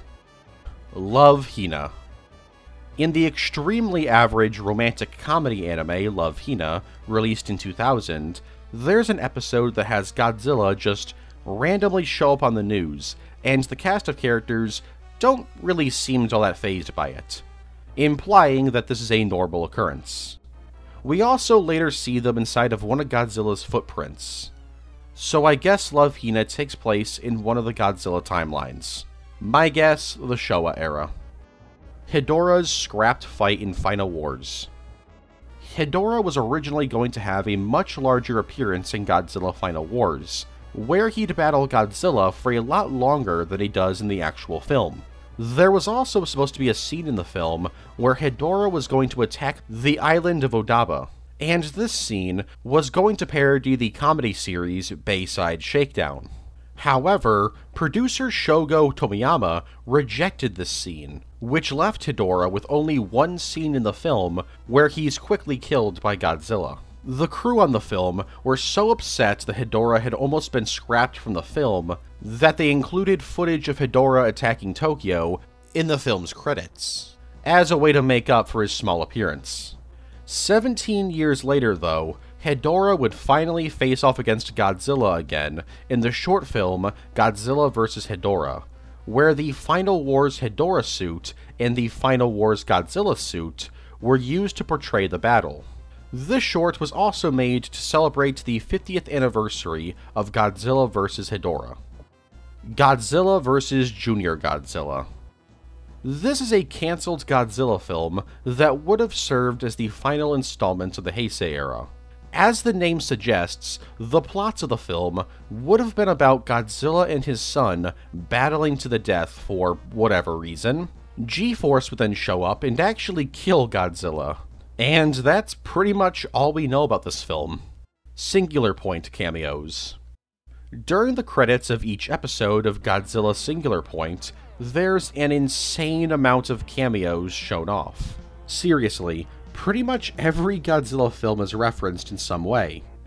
Not only do we see King Caesar, Manda, Mothra, Biollante, Anguirus, Monsterverse Rodan, Kiryu, Jet Jaguar, Hedorah, Kumonga, and Meganulon, but we also see multiple human characters from previous films, like Godzilla Final Wars, 2000 Millennium, Godzilla Against Mechagodzilla, Godzilla vs. Mechagodzilla, Zone Fighter, the original 1954 film, Ebirah Horror of the Deep, Shin Godzilla, GMK, All Monsters Attack, Godzilla vs. Gigan, Godzilla vs. Hedorah, and even Godzilla in 1998. It's insane how many references they were able to throw into the credits. Regardless of how you feel about Singular Point, you can tell the people behind it really loved the franchise. Shin Godzilla 2 So Shin Godzilla 2 was a potential film that fans would talk about all the time in the late 2010s. After all, Shin Godzilla ends with a mysterious scene of scary looking Godzilla people emerging from his tail. However, with Minus One's release, it's clear that we're never getting a Shin Godzilla 2. But was there ever a time where Shin Godzilla 2 was possible? Well, actually, yes. In 2022, Anno revealed that he had actually written a proposal for a Shin Godzilla 2, with titles like Shin Godzilla Reigns Again and Shin Godzilla's Counterattack being thrown around as potential names. He had written the proposal with the idea that the film would be released in 2018 and would be a very low cost film. Anno also didn't want to direct the film, and instead was expecting Shinji Higuchi to direct. And in 2016, he gave Toho his proposal, along with some concept art for the film. But the project didn't really go anywhere. This was partially in due to Toho wanting to make their own cinematic universe. And because Shin Godzilla was so different, they probably didn't want to create a cinematic universe centered around it. Also, there was a deal in place that Toho couldn't release a theatrical live action Godzilla film until after GVK, so that didn't exactly help Shin Godzilla 2's chances. As to what the film's plots would have been about, we don't really know anything. Except it's been said that the film would have been for people who didn't like Shin Godzilla. So I imagine it would be more in line with classic Godzilla films, but that's just speculation on my part. Godzilla TV. This is a partially lost Godzilla series that ran from October 1999 to March of 2000. It was a 5 minute long show that aired every weekday, and depending on the day, the episode's formats would be different. Monday was Godzilla Theater, which would just show clips from the past Godzilla films. Tuesday was the Godzilla Expedition Team, in which a child reporter visits filming locations from the Godzilla franchise. Wednesday was Godzilla Laboratory, where comedians would answer Godzilla related questions. Thursday was World of Godzilla, where children from around the world learn about Godzilla. And Friday was Breaking Godzilla 2000 News, where information, images, and cast interviews from Godzilla 2000 would be shown off yeah, this show was actually just made to promote Godzilla 2000. And because it was a promotional campaign for a movie, the show was never rebroadcasted or released on DVD, VHS, or anything. So, like I said earlier, the show is partially lost. Godzilla and the Martians. Released in 1984, this was an unlicensed Godzilla game created for the ZX Spectrum 16K 48K. The game has you playing as a random person climbing up a building to get to a girl by jumping over Martians. Meanwhile, Godzilla is just chilling out on top of the building with her. Yeah, you don't actually play as Godzilla in this unlicensed Godzilla game. The game's description reads the Martians have invaded, destroying the molecular structure of Earth's atmosphere to make it compatible with their own planet. The girl of your dreams is trapped at the top of a building site, but for the moment protected from the evil invaders by a friendly dinosaur. Which is meant to be Godzilla, who I guess in this universe is still Godzillasaurus. You must rescue her before the oxygen is totally absorbed. Martians kill, so do the man traps which you must leap. Superhumans only can play this game. Yeah, if you're not a superhero, you can't actually play this game, unfortunately. Although, you can play a much better game called Donkey Kong, which this game is very clearly a ripoff of. Scrapped Final Wars Kaiju.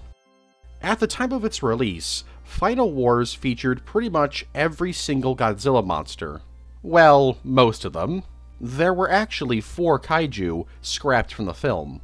Originally, Gorosaurus, Mechagodzilla, King Ghidorah, and the giant octopus were going to be in the film. King Ghidorah was replaced with Monster X, aka Kaiser Ghidorah, while Gorosaurus was replaced with Zilla.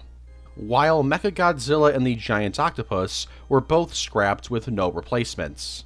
Last thing I'll mention is that in December 2004, an interview was held with Shogo Tomiyama, and in response to being asked if they considered a rematch between Godzilla and King Kong for Final Wars, he responded saying, quote, the rights for Kong weren't available. So it's possible that Kong was at one point considered for the film. Shin Godzilla VR Everyone complains about how there hasn't been a console Godzilla game since 2014. Well, in actuality, we have gotten one since 2014. In 2016, a VR game titled Shin Godzilla Special Demo Contents was released exclusively on the PlayStation VR. The game has you playing as just a random dude, just chilling out in the ruins of Tokyo, when you see Shin Godzilla slowly walking towards you. Instead of running away, you just sit there and watch as Shin Godzilla stomps towards you, causing rocks to be flung at you. And eventually, you die. And that's the end of the game. If you could call that a game. Okay, so it's not really what people want with a console Godzilla game, and it can be completed in just under two minutes. If you want to play this game, I don't think you actually can. As it was released exclusively in Japan, and I'm pretty sure it's been delisted by now. Godzilla vs. Kamakiris. Originally, instead of GMK, the 25th Godzilla film was going to be Godzilla vs. Kamakiris. This idea was quickly scrapped, however, as the previous Godzilla film, Godzilla vs. Megaguirus, also focused on an insect-like kaiju. The film would have been directed by Shusuke Kaneko. And that's pretty much all we know about this film. Original Ebirah, Horror of the Deep. The original version of Ebirah Horror of the Deep was titled Operation Robinson Crusoe, King Kong vs. Ebirah, in which, yes, King Kong would star in the film instead of Godzilla. This explains why in the film we got, Godzilla acts out a character so much. For instance, he gets strength from electricity, which is something that King Kong did in King Kong vs. Godzilla. This also explains why Godzilla had an attraction to a human woman. So why did they get rid of King Kong and replace him with Godzilla? Well, Rankin Bass Productions, who had given Toho the license for King Kong, had given them the license so that they would make a tie-in film with their cartoon, The King Kong Show. And Operation Robinson Crusoe was meant to be that film. However, Rankin Bass felt the movie didn't follow the show closely enough, so Toho instead replaced King Kong with Godzilla. And the Toho King Kong movie would eventually become King Kong Escapes. Transforming Bullet Train Robot Shinkalion. Transforming Bullet Train Robot Shinkalion is an anime series based on the model train franchise of the same name. In the show, monsters begin attacking the world, so a bunch of kids piloting mechs that can turn into trains join forces to save the world. It's your standard Saturday morning mecha anime. But what's notable about this series is that in the 2019 film, Transforming Bullet Train Robot Shinkalion the movie, the marvelous fast Alpha X that comes from the future, what a what an absolute mouthful. One of the show's characters actually battles Godzilla. This Godzilla has been dubbed as Snow Godzilla by most fans, and features an original design for the film. Godzilla even meets a train version of Eva Unit 1, piloted by Shinji from Evangel... Wait, what? Shinji from Evangelion? Wait, Asuka and Rei are here too? There's a monster that's just a combination of all the angels from Evangelion? Misato also appears in the series? And Hatsune Miku's here too? What the hell is this series? Cancelled NES Rodan game. In 1990, there was an ad in Nintendo Power that said that a Rodan game was coming to the Nintendo Entertainment System. The game was advertised for about a year, where it was described as being a semi-sequel to the NES Godzilla game. However, this game would never come out, as the game was cancelled because Toho felt that a game under Rodan's name wouldn't sell as well as a Godzilla game, and so, most of the NES Rodan game's assets were used in the video game Godzilla 2 War of the Monsters. Godzilla Zero. In March of 2022, Twitter user Razorkey revealed on Twitter that they had been filmed as an extra in a film titled Godzilla Zero. However, no film titled Godzilla Zero has ever been released. So, what was this tweet talking about? Well, filming for Godzilla Minus One did occur in early 2022, with it being known at the time as Blockbuster Monster Movie. So while it's never been confirmed, it's very likely that Godzilla Zero was the original title for Minus One, or at the very least, a placeholder title. Hedorah vs. Medora. After the release of Godzilla vs. Hedorah, director Yoshimitsu Banno tried convincing Toho to make another film with Hedorah in it. For example, he proposed Godzilla vs. Hedorah 2, where Godzilla would battle a second Hedorah in Africa.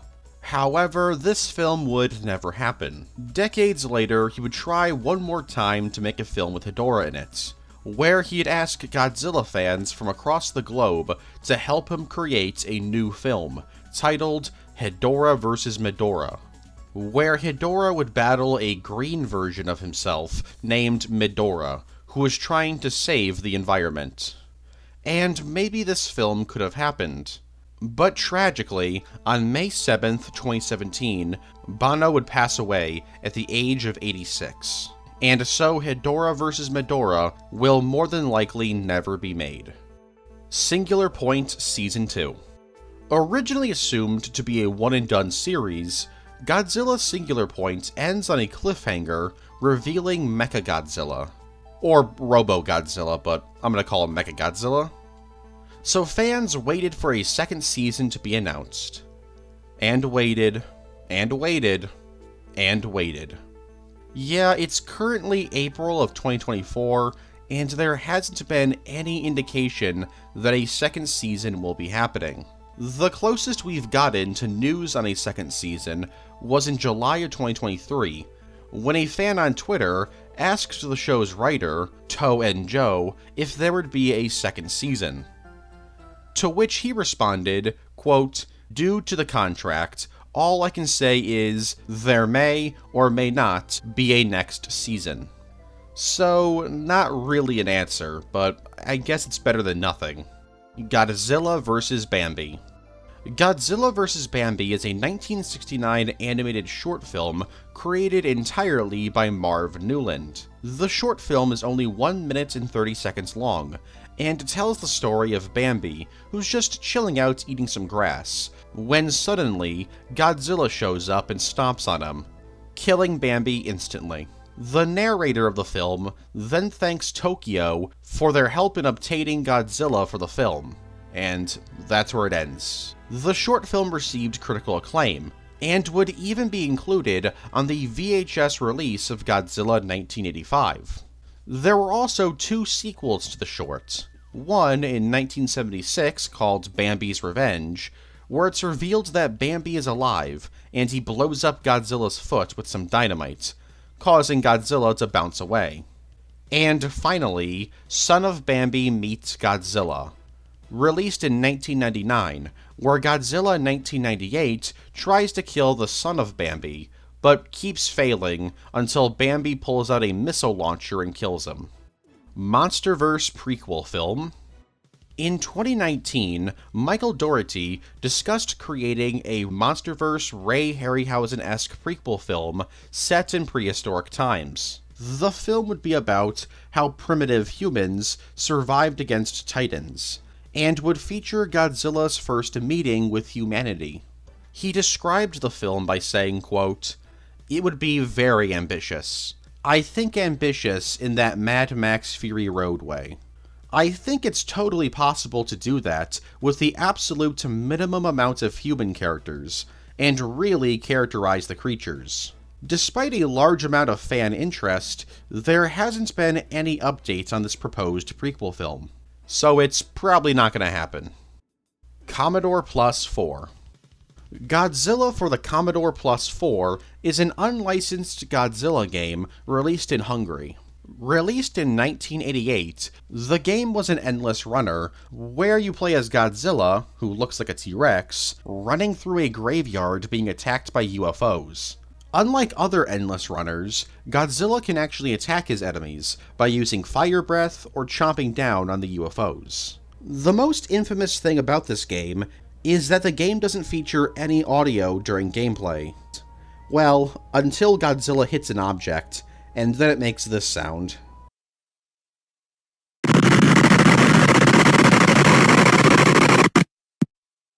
Shin Godzilla's first appearance so you might think that Shin Godzilla's first on screen appearance was in his own film. Well, in actuality, that's not the case. His first appearance was in episode 901 of Crayon Shin-chan, a show that began airing in 1992. The show is a slice of life comedy series and is extremely popular in Japan. Shin Godzilla's appearance was in the segment titled it's Crayon Shin-chan vs. Shin Godzilla, where the two characters battle to the death. And by death, I mean Shin-chan jumps into Shin Godzilla's mouth and farts into it, shrinking Godzilla down to the size of a small lizard. so a fate worse than death. Because this was made in promotion for Shin Godzilla, they actually changed some things about Shin Godzilla. For example, in Shin-Chan, he fires blue atomic breath instead of the purple beam from the film.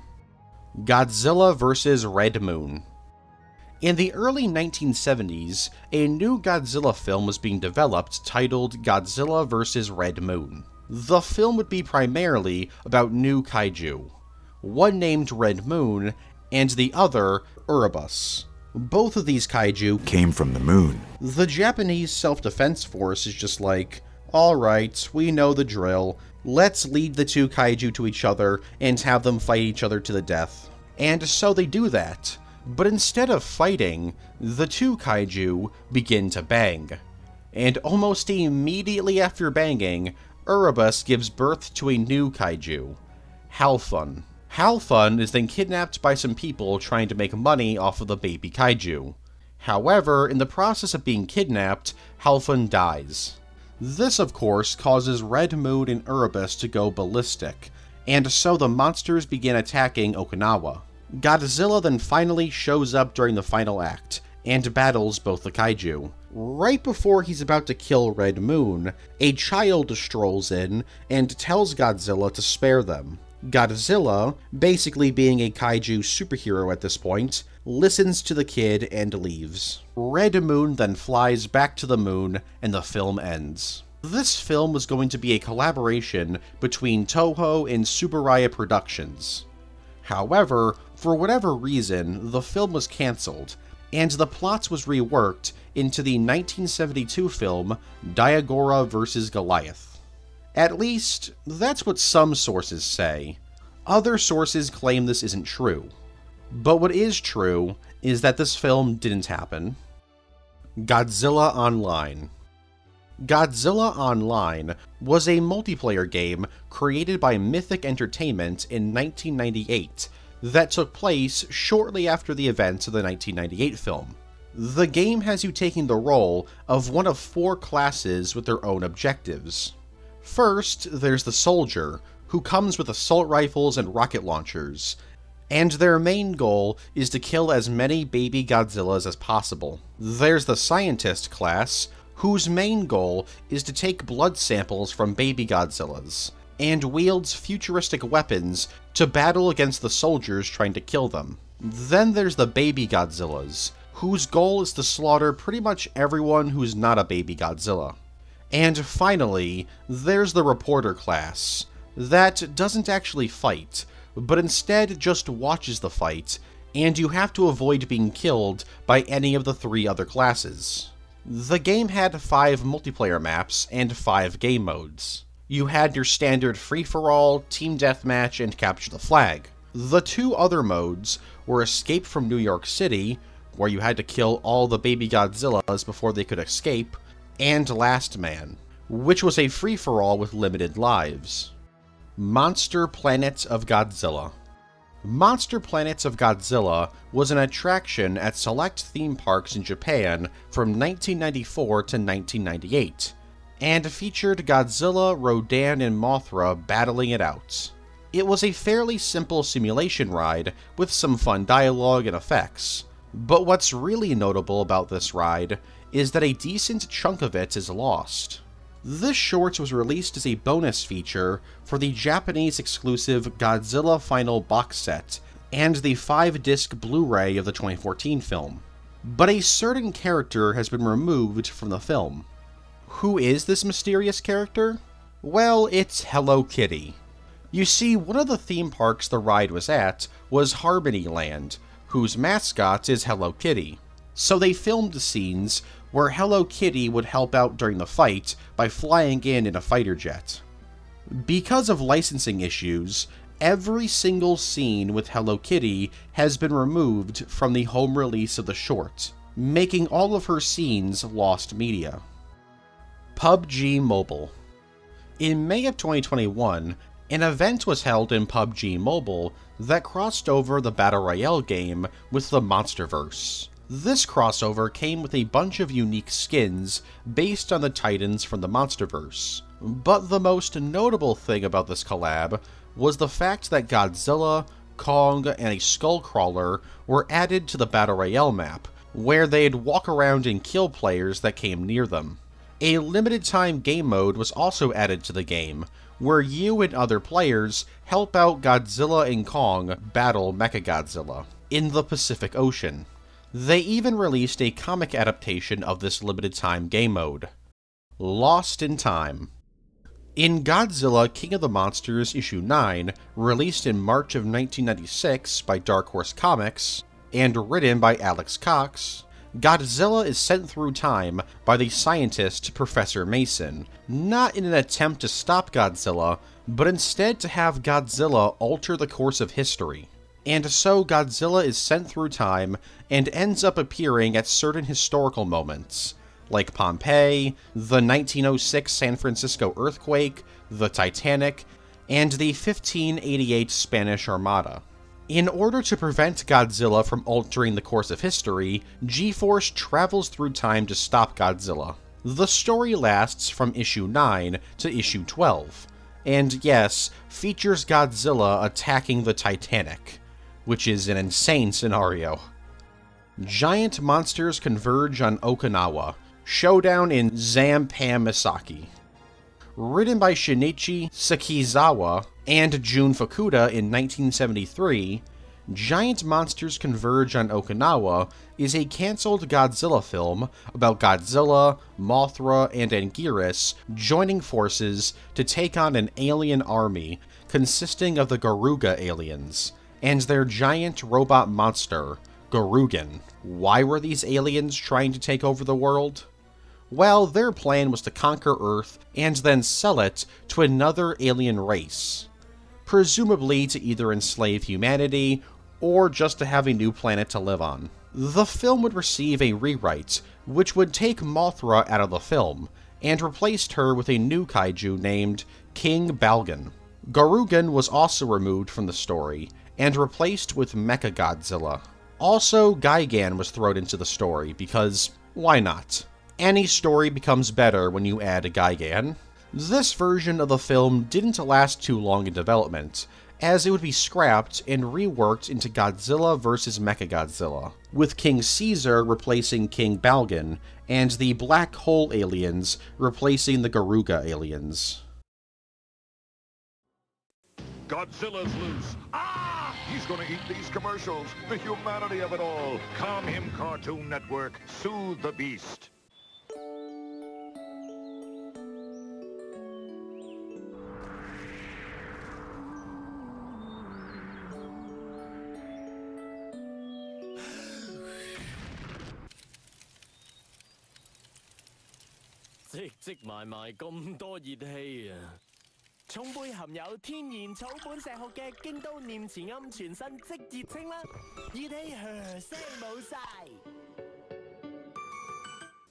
Godzilla, king of all thunder lizards, shall return. He's going to stuff his face with Smurfs again. You're gonna get fat, Godzilla. Monarch G Team. In November 2022, actor O'Shea Jackson Jr., who played Barnes in King of the Monsters, revealed that he, along with Chris Mirjahangir from the website Toho Kingdom, had pitched an anime-inspired series set in the Monsterverse titled Monarch G-Team. The series would focus on Monarch, specifically G-Team, dealing with various titans from across the globe. From new kaiju to old Toho classics like Biollante, Kabunga, and Gigan. The show would also ideally last three seasons. While revealed in 2022, the series has resurfaced very recently due to the success of Godzilla X Kong. So if you want this series to be made, go tweet at Legendary's Twitter account asking them for it. Also, share around posts talking about the show. Tokyo is a fine place. In the 1957 Toho film, Tokyo is a Fine Place, there's a baseball team called the Tokyo Anguirus, and the team's uniform even includes a shoulder patch with Anguirus' head. Some have theorized that this film actually takes place in the Showa Godzilla universe, with the idea that the team named themselves after the fallen Anguirus from Godzilla Raids Again. But that's just a fan theory. I'm pretty sure this was just meant to be an Easter egg, nothing more. Star Godzilla. Star Godzilla is a cancelled 1980 Godzilla film that was going to be produced by First Distributors, and was announced in an issue of Variety, with this poster featuring Godzilla, King Kong, and Anguirus battling UFOs and military vehicles. Weirdly enough, the poster actually uses art lifted from ads from the 1976 King Kong film. However, First Distributors didn't actually get the rights to use any of these characters. So Toho threatened legal action, which led to the film's cancellation. This film would also receive a fake review released on April 1st of 1998 as an April Fool's Day joke by Stomp Tokyo Video Reviews, where they used screenshots from the 1986 film One Crazy Summer and a doctored image from the 1975 film Inframan to represent the film. Godzilla vs. Deep Sea Life. This is a cancelled Godzilla film that would have served as the final entry to the Heisei era. All we know about this cancelled film is that Godzilla would have battled a new dragon like kaiju that came from the ocean, and both Godzilla and this dragon kaiju would be attacked by G Force with the Oxygen Destroyer. Mecha Mothra. Originally, the ending to Godzilla vs. Mothra would have had Mothra being killed by Godzilla. This would have led to a cancelled sequel that would have had Mothra coming back to life as a cyborg, and she'd look more like a dragonfly than a moth. Sadly, that's all we know about this film.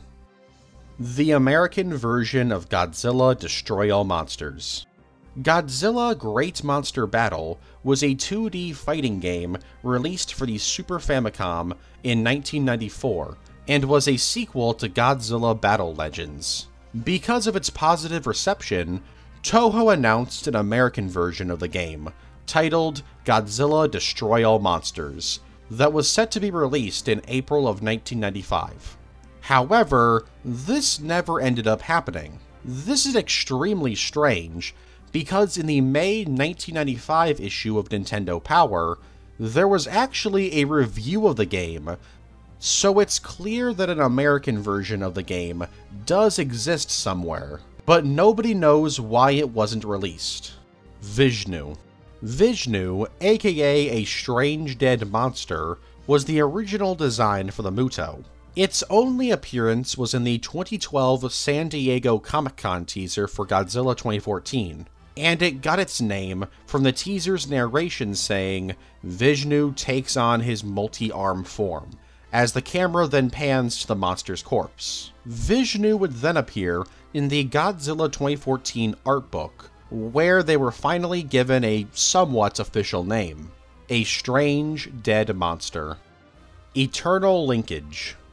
Eternal Linkage is a Japanese exclusive fantasy mobile RPG developed by Jupit. Because the game was shut down, the game has fallen into obscurity.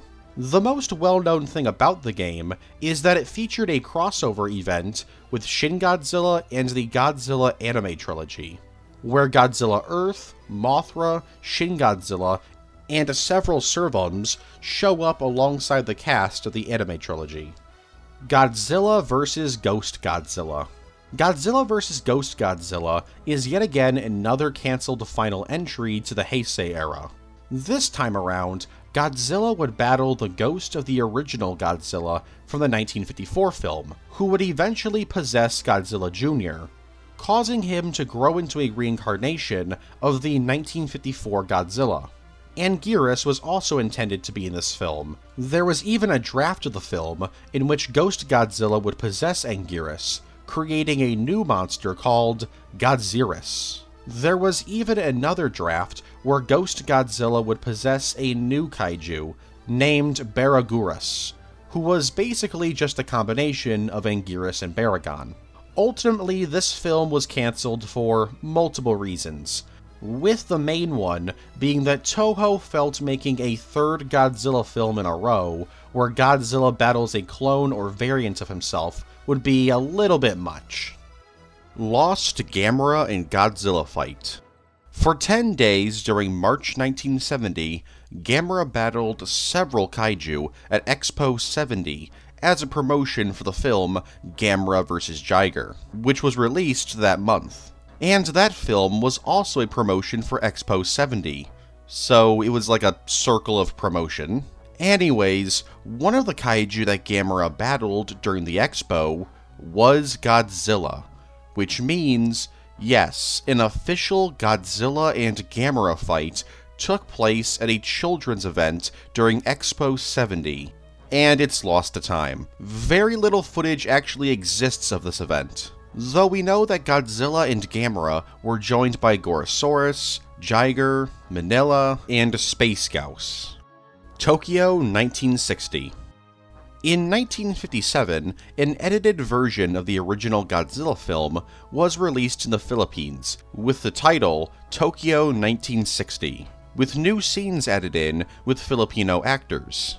However, no footage of this version of the film has ever surfaced, and because of the humidity and heat in the Philippines destroying most of the country's early physical films, it's unlikely that footage of this film will ever surface, because it's probably destroyed. Resurrection of Godzilla King of Monsters Resurrection of Godzilla was a cancelled Godzilla film from 1977. This film would have been directed by Jun Fukuda. The film would begin with a Shockirus attacking some Japanese sailors. Shockirus, along with Godzilla, who shows up later, were attracted to the area due to nuclear energy being dumped illegally. But it's not just the kaiju that Japan has to deal with. As a group of terrorists take over the nuclear power plant the energy was being dumped from. The terrorists plan on making their own nuclear bomb to use on Japan, to remind the country of the horrors of nuclear warfare. But they get stopped by Godzilla, who shows up and causes some chaos, destroying the nearby Hamamatsu city. He then heads over to the nuclear power plant and destroys it. The film ends with Godzilla battling the Japanese Self Defense Force, along with the United States Navy and the Soviet Union's Navy. The US then drops a nuclear bomb on Godzilla, which they think kills the kaiju. The film's protagonist states Godzilla is a monster and not a living thing. As long as nuclear weapons exist in the world, it won't die. And the film ends on a bleak note, as a few months later, Godzilla is seen re-emerging and attacks a nuclear power plant in California. While the film would be scrapped, elements of its plot would be reused in Godzilla 1985. 1999 King Ghidorah film.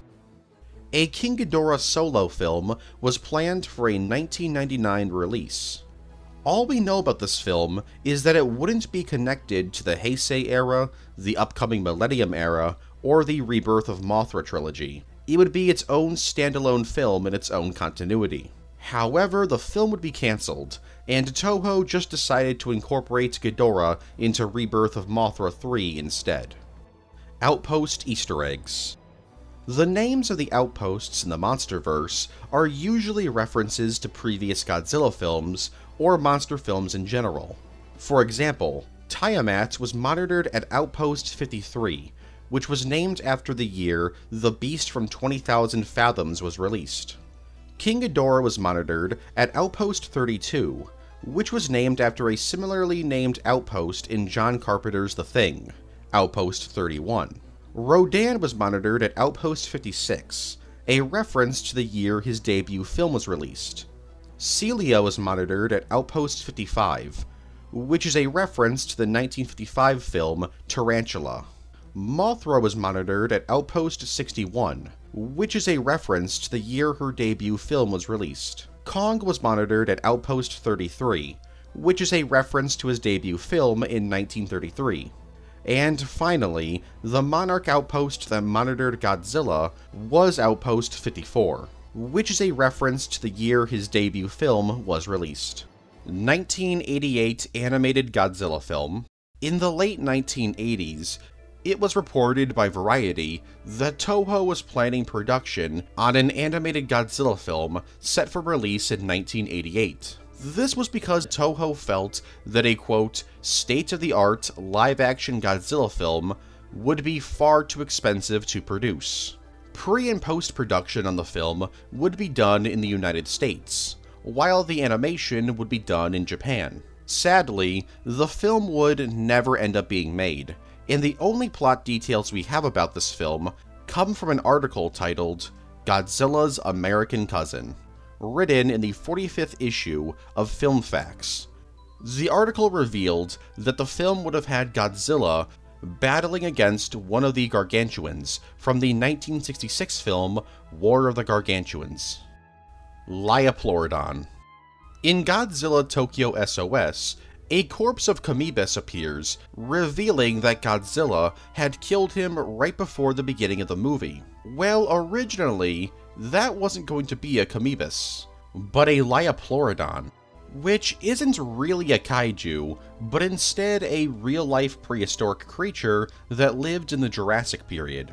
However, Toho wanted a recognizable kaiju to be that corpse. So it was decided that the corpse would be Anguirus, but the film's producer, Shogo Tomiyama, really didn't want that, because he wanted to use Anguirus in a potential sequel. So Tokyo SOS's director, Masaki Tezuka, requested Gamera be the corpse. But Toho responded saying, we don't have the rights to Gamera.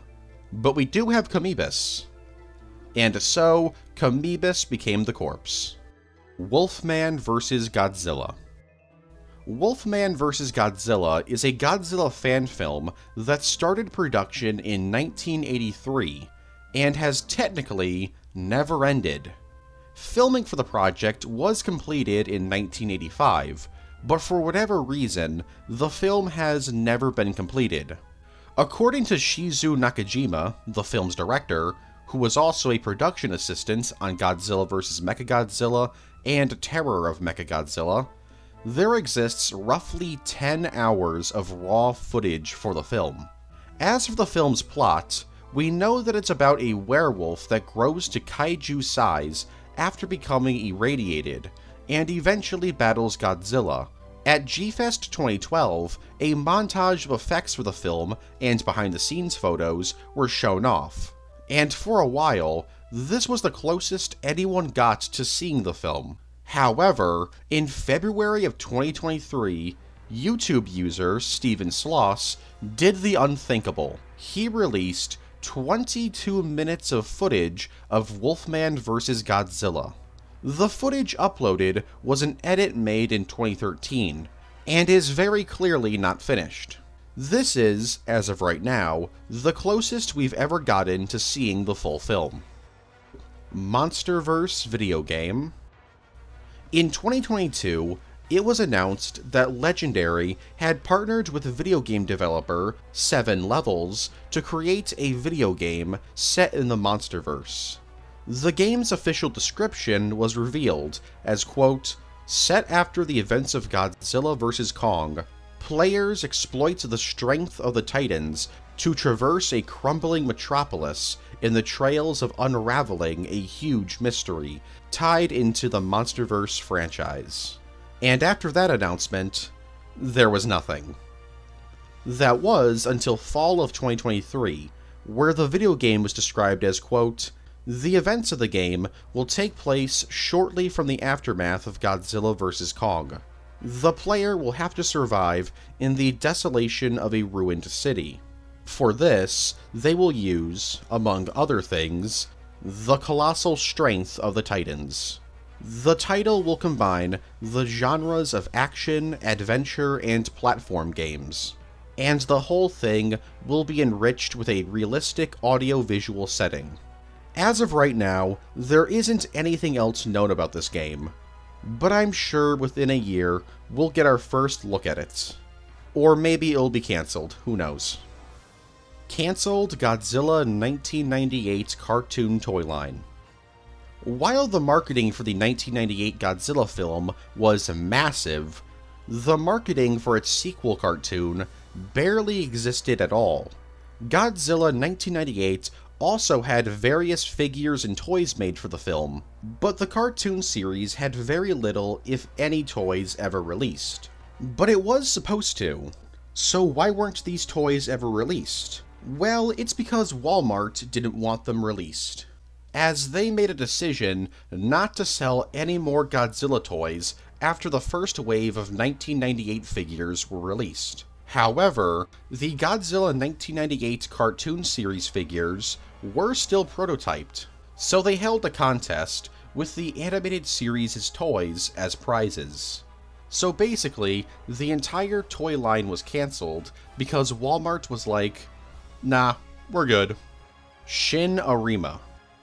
In 2016, a crossover browser game between Shin Godzilla and the Arima Kinen horse racing event was released. The game had you racing horses, all while Shin Godzilla tries to stop you by throwing rubble at you, trying to hit you with its tail, or just flat out stomping on you. If you were able to beat Shin Godzilla in all the races, you would end up killing Shin Godzilla by pumping blood freezing coagulant into his body, like in the movie. So, yes, Shin Godzilla battled some random horse racers and lost.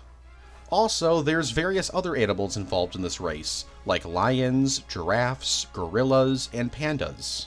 If you want to play this game, too bad, as the game is actually lost to media. Godzilla vs. the Space Monsters Earth Defense Directive.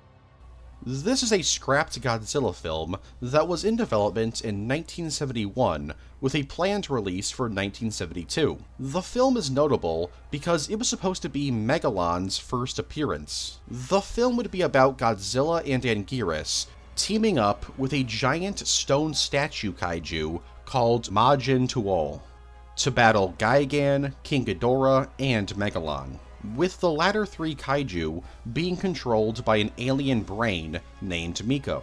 Majin would be revealed to have a rivalry with King Ghidorah, as King Ghidorah apparently attacked the statue's home hundreds of years ago.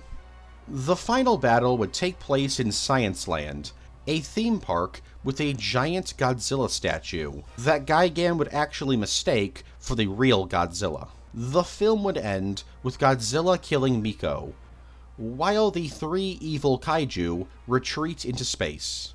While cancelled, the film would evolve into Godzilla vs. Gigan and Godzilla vs. Megalon. Phosphira. Phosphira is a scrapped kaiju from Godzilla X Kong. Although, scrapped might not be the right word. Phosphira's existence was leaked months before GXK's release, and it was said that Phosphira was going to be the kaiju who convinced Godzilla to work with Kong. However, because of negative audience reactions, Phosphira was removed from the film and replaced with Mothra. And that was the story for quite a while. Until shortly after the film's release, when director Adam Wingard came out and confirmed that while Phosphira was in the film at one point, the story of her removal wasn't true. He said, quote, There was briefly another character called Phosphira that we had in place of Mothra, but Mothra was always what the character was written around. And there's this false narrative online that this other character tested badly, and then we were like, let's get Mothra. The plan was always Mothra, but we weren't sure if we were going to be able to get Mothra. And once we tested the movie, we had the previous version of that. And by then, things had cleared up, and we were able to do Mothra. Phosphira actually still appears in the film, however, as she appears in a mural sculpted into a temple, so she's still canon.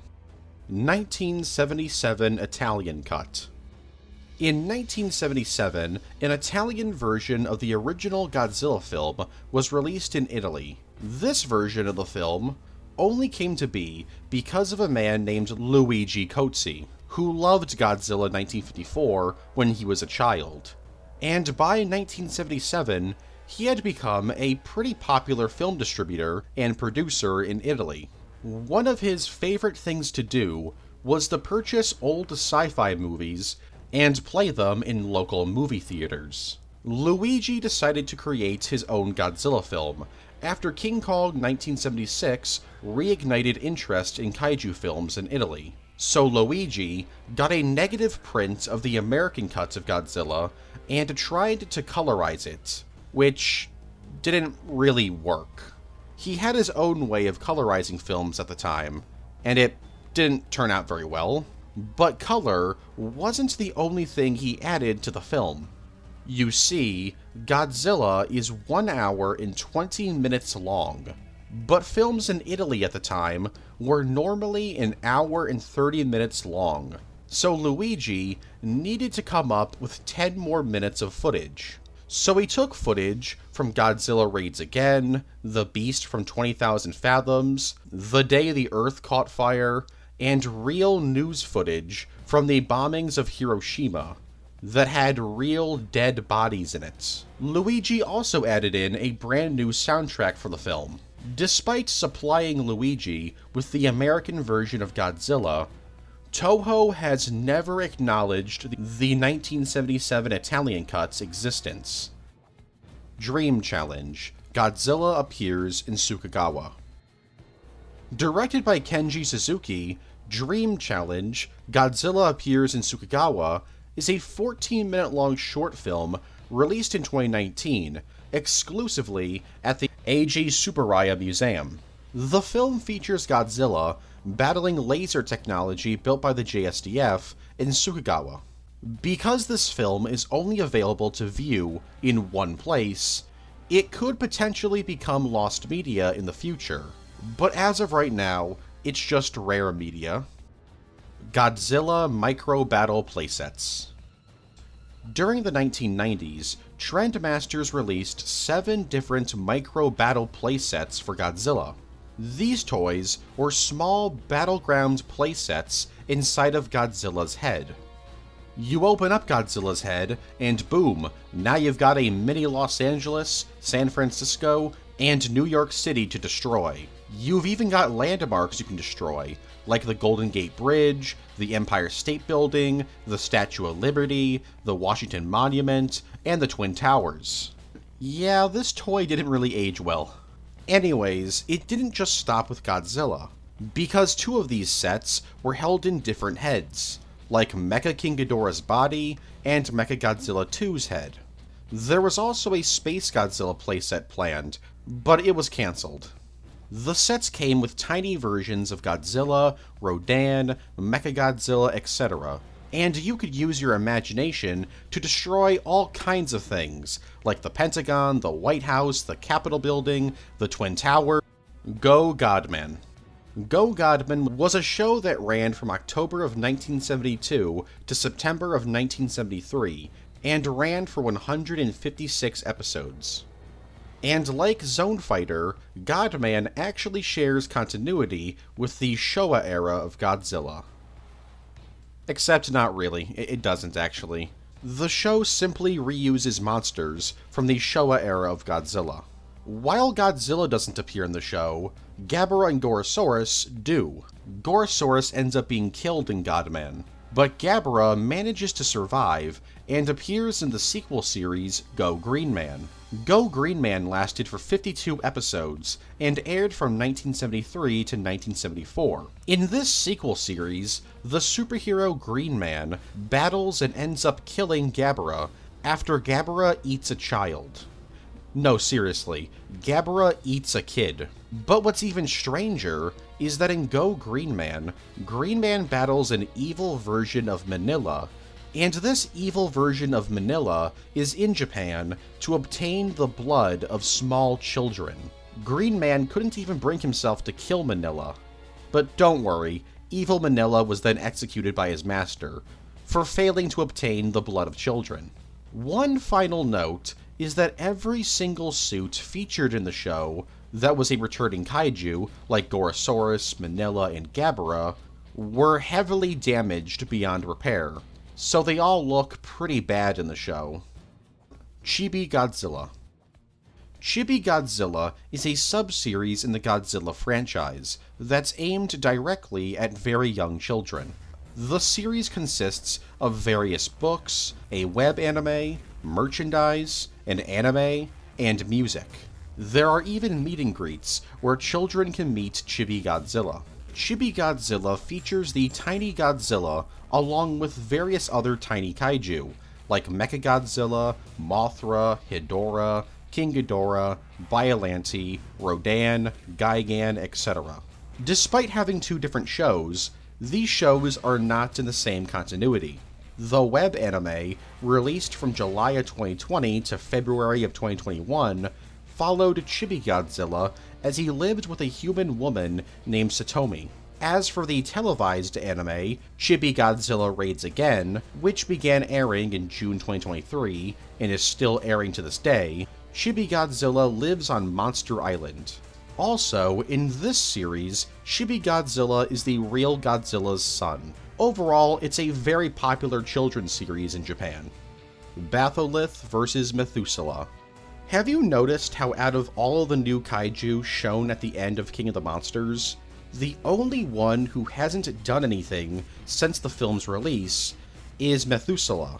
Scylla appears in various comics, and even returns in Godzilla X Kong, and Behemoth has appeared in various comics as well, and was meant to have a cameo in Godzilla vs. Kong. Sure, the Queen Muto hasn't done anything, but she's barely a new kaiju. Methuselah hasn't appeared in any new media released after 2019, besides a drawing of him showing up at the beginning of Godzilla Dominion. So why is that? Well, this is a bit of speculation, but it might be because Methuselah is a controversial titan. In December of 2021, artist Jeremy Allen Souls sued Legendary because he claimed that Legendary had copied the design of Methuselah from a kaiju called Batholith, who is owned by Summit Kaiju International. This kaiju was even shown off at G-Fest 2017, and admittedly, he does look like Methuselah. So it's possible that Methuselah is being ignored due to potential legal problems. To back up this claim, in Godzilla X Kong's credits, Jeremy Allen Souls is thanked. Once again, this is all speculation, but there was a lawsuit about the character. Here's a makeup tip from Godzilla. To make a prominent nose look smaller, paint your eyes up to look bigger. Thanks, Godzilla.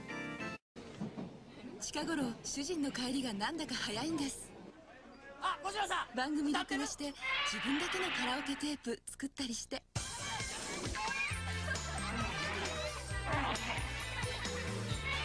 日本全国津々浦々今度は歌える G ビデオ Oh no! There goes Cartoon Network. Go go Godzilla. Yeah, yeah. The 80th Academy Awards. For the 80th Academy Awards, hosted in 2008, a montage of characters from different movies living in New York City together was played. For some reason, Zilla, or Godzilla 1998, appears in this montage and actually battles King Kong from Peter Jackson's King Kong. King Kong in a Jet Jaguar suit. When Godzilla vs. Megalon was being marketed in Germany, Jet Jaguar was marketed under the name King Kong, in order to draw in a larger crowd. And since then, this has led many people to believe that the German dub of the movie claimed that Jet Jaguar was actually just King Kong in a robot suit. Though this is actually not true, as the German dub never mentions King Kong being in a robot suit. Biollante King Ghidorah Hybrid In the Godzilla comic Raids Again, there's a story in which King Ghidorah is sent to attack Earth, but is stopped before getting to Earth by Biollante, who is living in space debris orbiting the Earth. The two kaiju battle it out, which leads to Biollante absorbing Ghidorah's power and becomes a Biollante King Ghidorah hybrid that continues the fight against King Ghidorah. Though even in this ultra powerful form, King Ghidorah was still able to defeat this abomination. Giant Serizawa. For some reason, in the Dreamcast game Godzilla Generations, you can unlock and play as a giant kaiju sized version of Dr. Serizawa from Godzilla 1954. In order to unlock him, you need to complete the game as all other kaiju.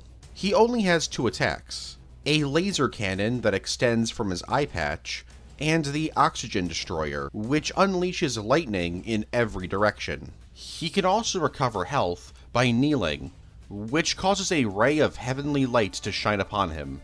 So I guess the in-universe explanation is that Dr. Serizawa is getting powers from heaven to do whatever on Earth. Kinda strange, but it's not the strangest thing in the franchise. Lost King of the Monsters footage. Screen X is a type of movie theater that has footage surrounding the audience viewing the film.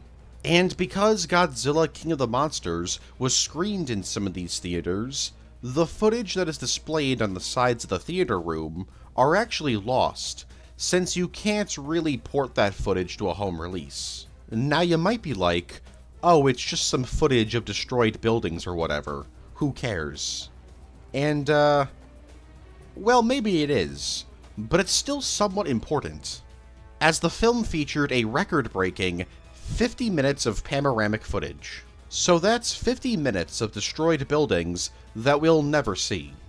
The Millennium Era was never meant to happen.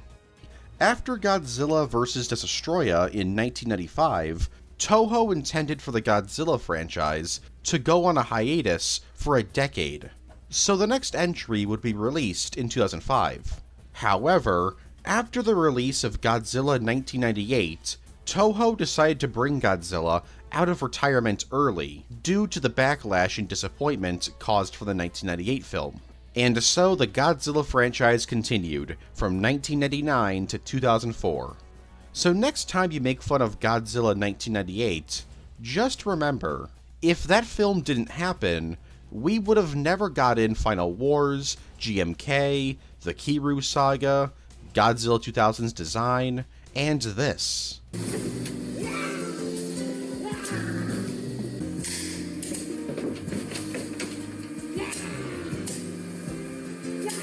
Do you really want to live in a world without Millennium Baragon?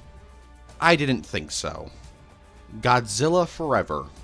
Godzilla Forever is a cancelled American Godzilla film from the late 2000s. Written by Gary Whitta, the film would have taken place in the near future, and uh, that's pretty much all we know about it.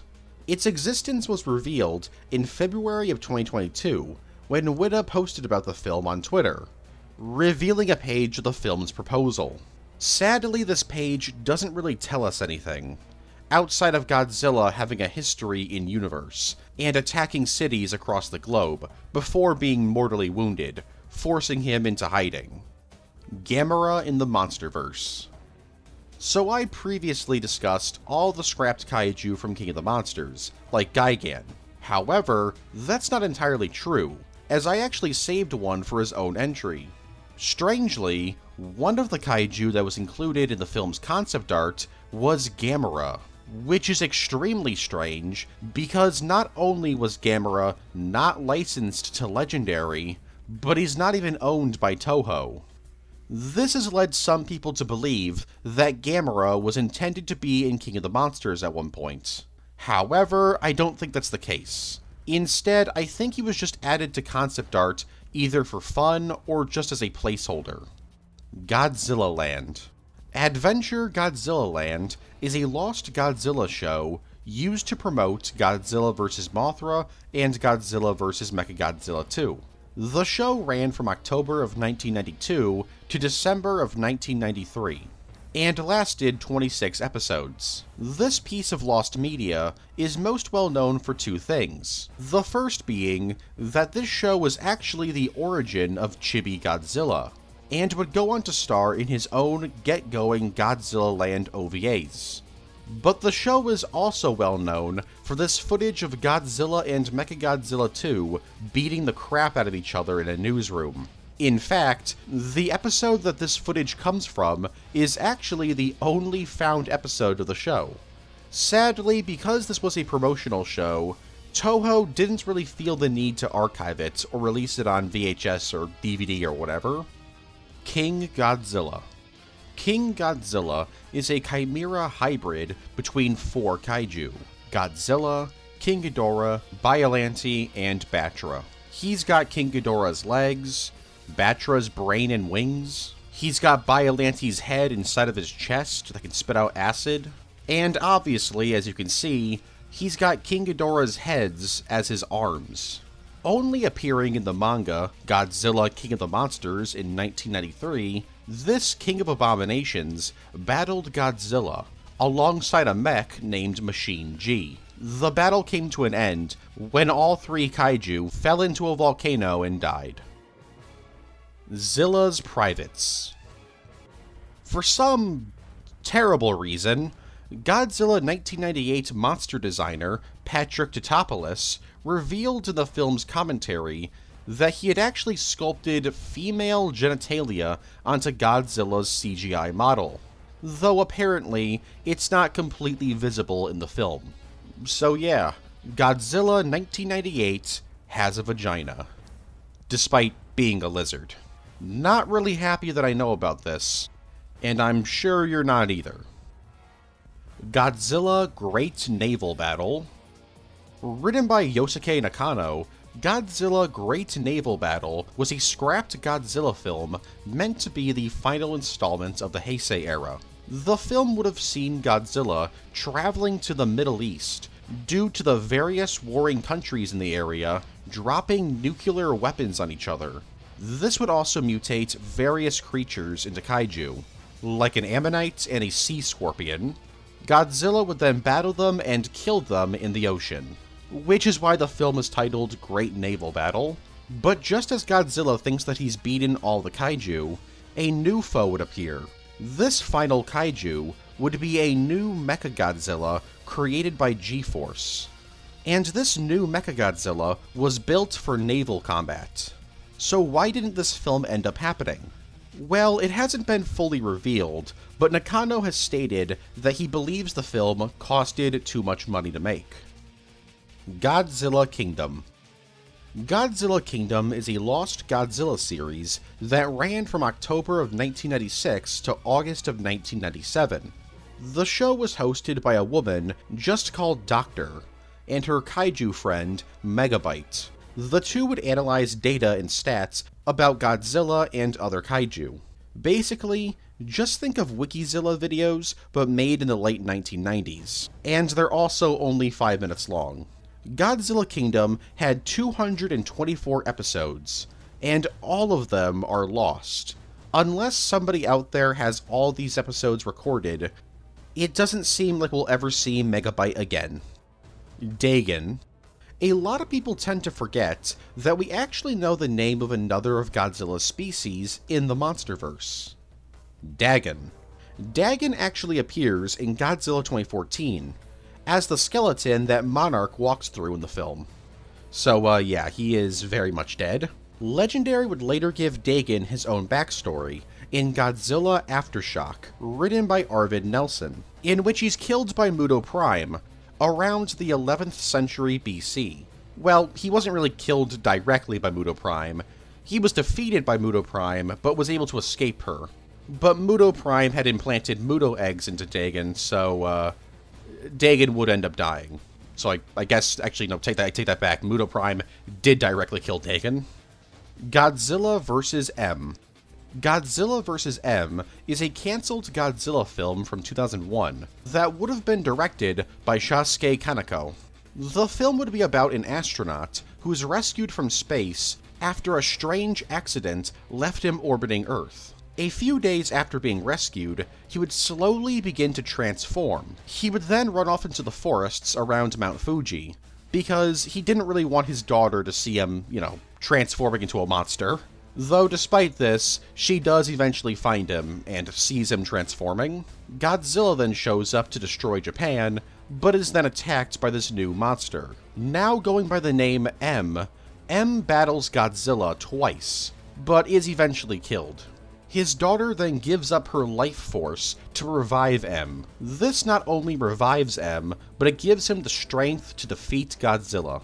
M then carries him out to sea, where they both disappear forever. The film would have also taken place in an alternate timeline, where Japan would be known as the Republic of Japan and would be a highly militaristic country.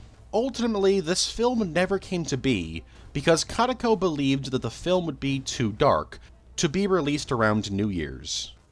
Godzilla Couple in 2014, a Japanese comic titled Big Comic Original released a special Godzilla issue in celebration of Godzilla 2014. Like the Godzilla comic, this manga was an anthology, and one of the stories was titled Godzilla Couple. Godzilla Couple tells the story of a couple who just want to bang when Godzilla shows up to destroy their city. So they head to the nearest bunker. Just kidding, they actually continue to bang as Godzilla destroys everything around them. And when the destruction is over and Godzilla returns to the sea, the two decide to bang some more. And that's pretty much the entire plot. There's no twists or turns, it's just a couple banging, and the story will occasionally cut to Godzilla destroying stuff. Godzilla vs. Super Nuked Godzilla. In 1995, Kairu Kamikiku submitted four drafts for a final installment of the Heisei era.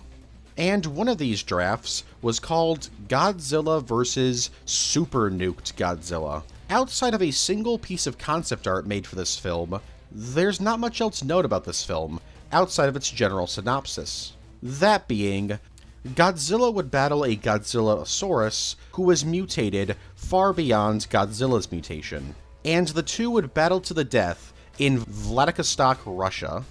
Monster Warrior Godzilla. Monster Warrior Godzilla is a story featured in the Godzilla comic. The story was created by suit actor Ryu Hurricane, aka Hurricane Ryu and tells the story of Godzilla and multiple other kaiju being from an alternate reality where they're all extremely humanoid. They're at war with humanity and are being hunted to extinction. Godzilla, who's taking some inspiration from Conan the Barbarian, leads his troops against the human menace. The story ends with Godzilla battling the Japanese Prime Minister, who has Mechagodzilla, Mechani-Kong, and Moguera defending him. Godzilla takes them all down, and then ascends back into his own reality. So yeah, it's a pretty crazy story. March 15th, 1977 airing of Godzilla vs. Megalon. So this sounds like a really spooky entry, although it's not at all. On March 15th, 1977, NBC decided to air Godzilla vs. Megalon on at prime time. So you might be wondering, what's so strange about that? Well, they put it in a one hour time slot, which meant that the film had to be heavily cut down from its hour and 21 minute runtime.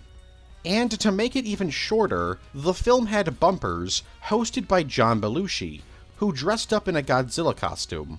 All footage of him doing whatever in that Godzilla suit has become lost to time, and so has this hour long cut of Godzilla vs. Megalon. Gamera in Planet of the Monsters. While never outright confirmed, it's actually hinted that Gamera exists in the Planet of the Monsters continuity, although he's dead. In the novel Monster Apocalypse, a body of a Kamoebas washes ashore, a reference to the Turtle Kaiju's cameo in Tokyo SOS. However, scientists determine that this Kamoebas corpse actually comes from a different species of Kamoebas, like a subspecies. The Turtle Kaiju's body is described as being 60 meters long and missing his right hand. This is the exact same height as Gamera's Showa incarnation, and in the Heisei Gamera trilogy, Gamera loses his right hand. So while not confirmed, it seems that Gamera may have been killed by Godzilla in the Planet of the Monsters continuity. Godzilla vs. the Devil. This is a fake, cancelled Godzilla film that was supposed to be Godzilla's big return to the big screen after Terror of Mechagodzilla's release. Supposedly, it never got past the planning stages, and the film's plot had Godzilla battling several demons before killing Satan himself. However, like I said, this film was never actually in development, or was even pitched. The film was first purported to be in the works in issue 5 of the magazine Japanese Giants in October of 1978. Supposedly, the film would be worked on by both Toho and UPA, with a budget of $4 million and a script written by Reuben Bercovitch. Despite the film being reported in two more magazines in 1978 and 1981, the film never actually happened, with the creator of Godzilla, Tomoyuki Tanaka, stating in 1980 that the film didn't exist. So was Godzilla vs. the Devil ever in development? Maybe. Kaiju historians and superfans have discovered evidence of its existence in books. But yet again, when the creator of Godzilla says that it doesn't exist, it probably doesn't exist. Mecha Godzilla Sonic.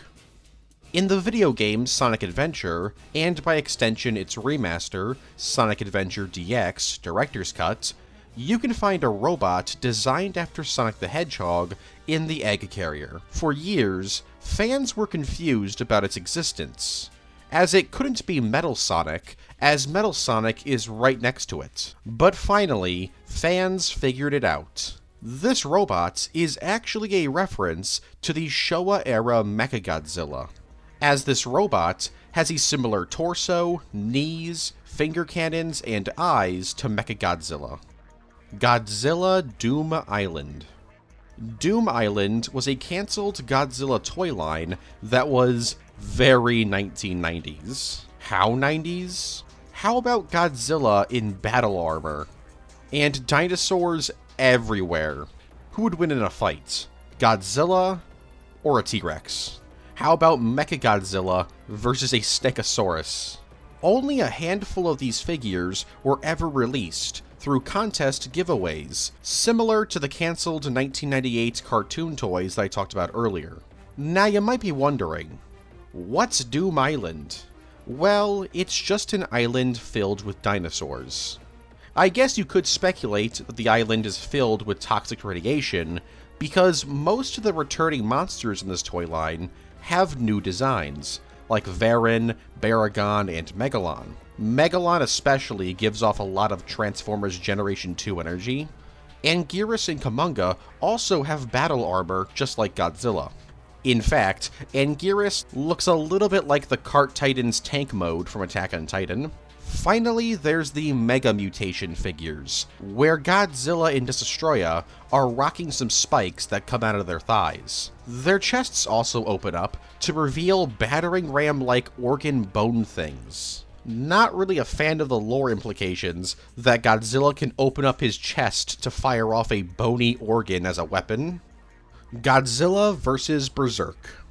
In 1992, anime designer Yutaka Izubuchi submitted a 14 page story draft of a new entry in the Heisei Godzilla films. This film, titled Godzilla vs. Berserk, no, Godzilla does not fight guts in this, would introduce Mechagodzilla into the series. But instead of it being a human creation, he's a mass of alien organic machinery called Berserk, who eventually molds himself into a more traditional Mechagodzilla. Concept art for Berserk kind of reminds me of the Boomer at the end of the first episode of Bubblegum Crisis. Anyways, the film would also introduce the Super X3, two films early of its introduction in Destoroyah. The film ultimately didn't happen, as Toho wanted a more traditional Mechagodzilla. However, elements of this film would be used in Godzilla vs. Destoroyah, Godzilla 2000, and obviously, Godzilla vs. Mechagodzilla 2.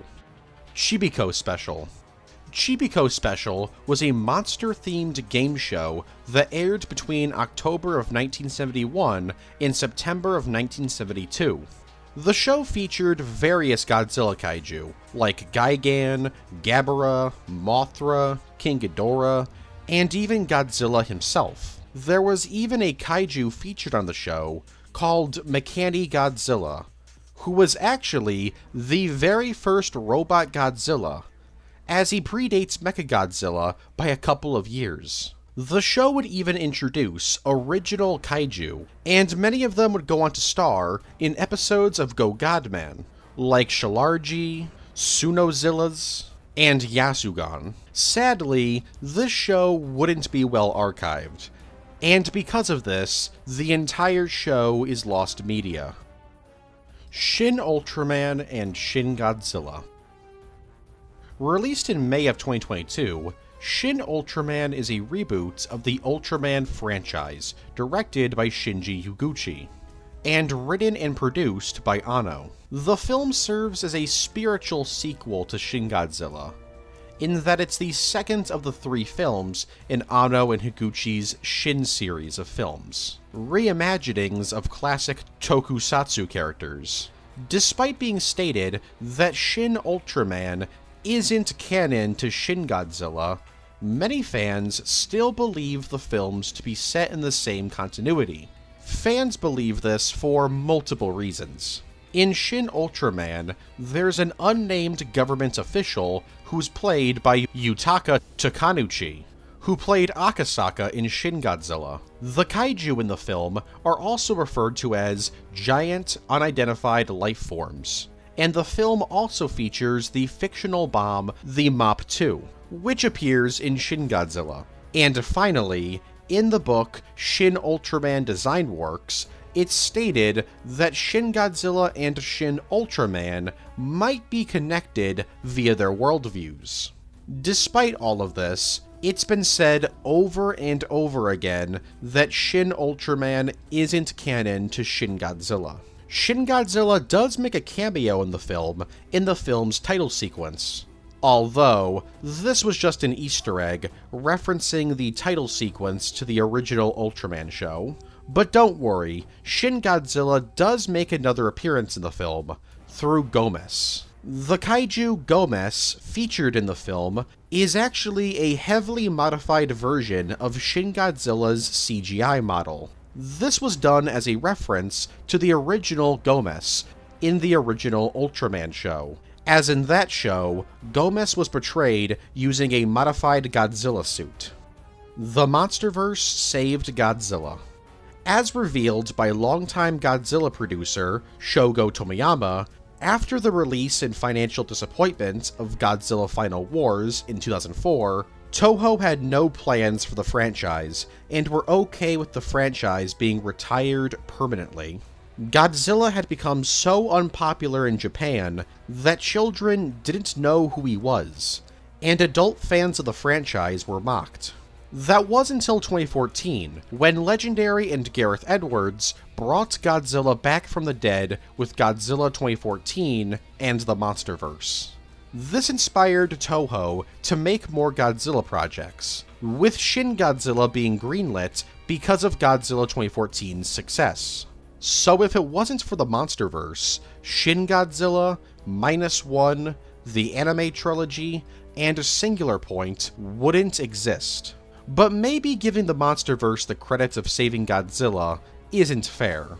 After all, the only reason the Monsterverse happened was because of Banno's attempts at getting a Godzilla film released in the United States after the release of Final Wars.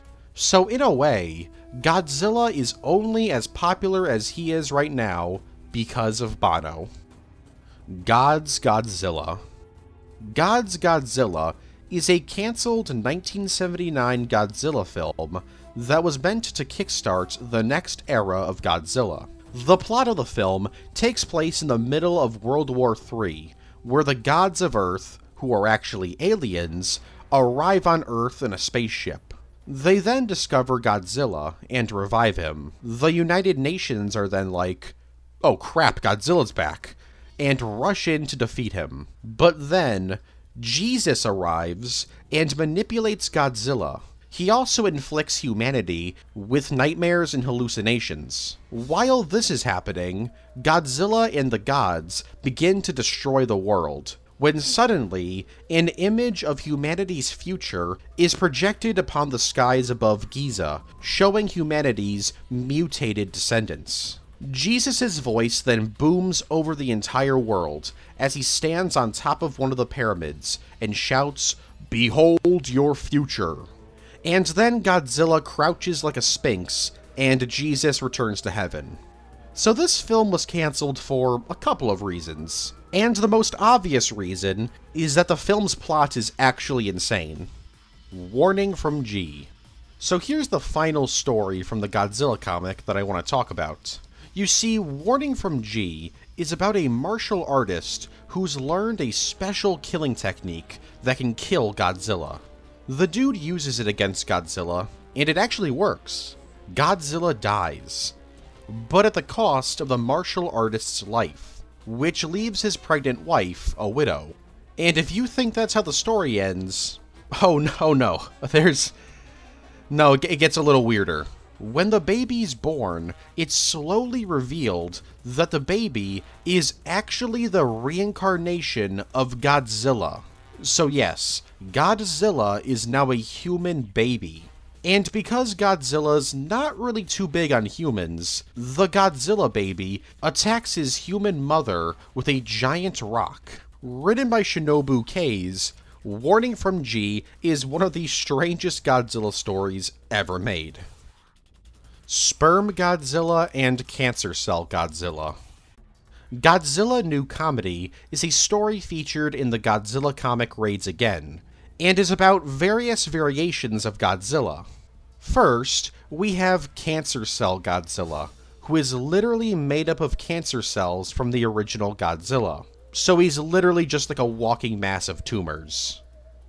Horrible. Then there's Leukocyte Godzilla, who is made up of the blood cells of the original Godzilla. It produces acid that comes out of its skin. And finally, there's Sperm Godzilla, who is made up of the original Godzilla's sperm. Yeah, manga in the Godzilla franchise is pretty insane. A Space Godzilla. A Space Godzilla is a rejected Godzilla film from the mid 1970s. The film would be adapted into a two part story featured in the Japanese edition of Starlog magazine in 1979. The story goes like this Godzilla is dying of diabetes. Off to a great start. Scientists then dissect Godzilla and attempt to communicate with its brain and discover that Godzilla is actually a sentient alien named Roseanne from the Godzilla planet and is pregnant. The scientists then decide to turn Roseanne's body into a rocket ship and launch the child into space aboard its barely alive mother who's in a diabetic coma. Once they get back to Godzilla planet, they're reunited with Roseanne's husband, Kunnan, but suddenly, the Godzilla planet is under attack by an alien race called the Sonarians, who look like humanoid monsters with breasts. Kunnan and his child, Lilin, then battle the aliens and save the day. Gee, I wonder why Toho rejected this pitch. It's, it sounds like a moneymaker. All right, and that was the Godzilla Iceberg Remastered.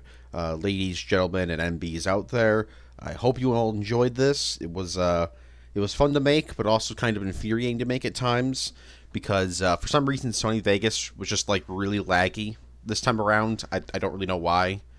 Um, I would say it's because of the length of the video because this is a pretty this is a pretty long one, but I don't remember the Alien and Predator one uh, the Iron Man one, and the Superman one, which are all roughly three hours long. I don't remember them being this laggy. I don't know. Sony Vegas is weird.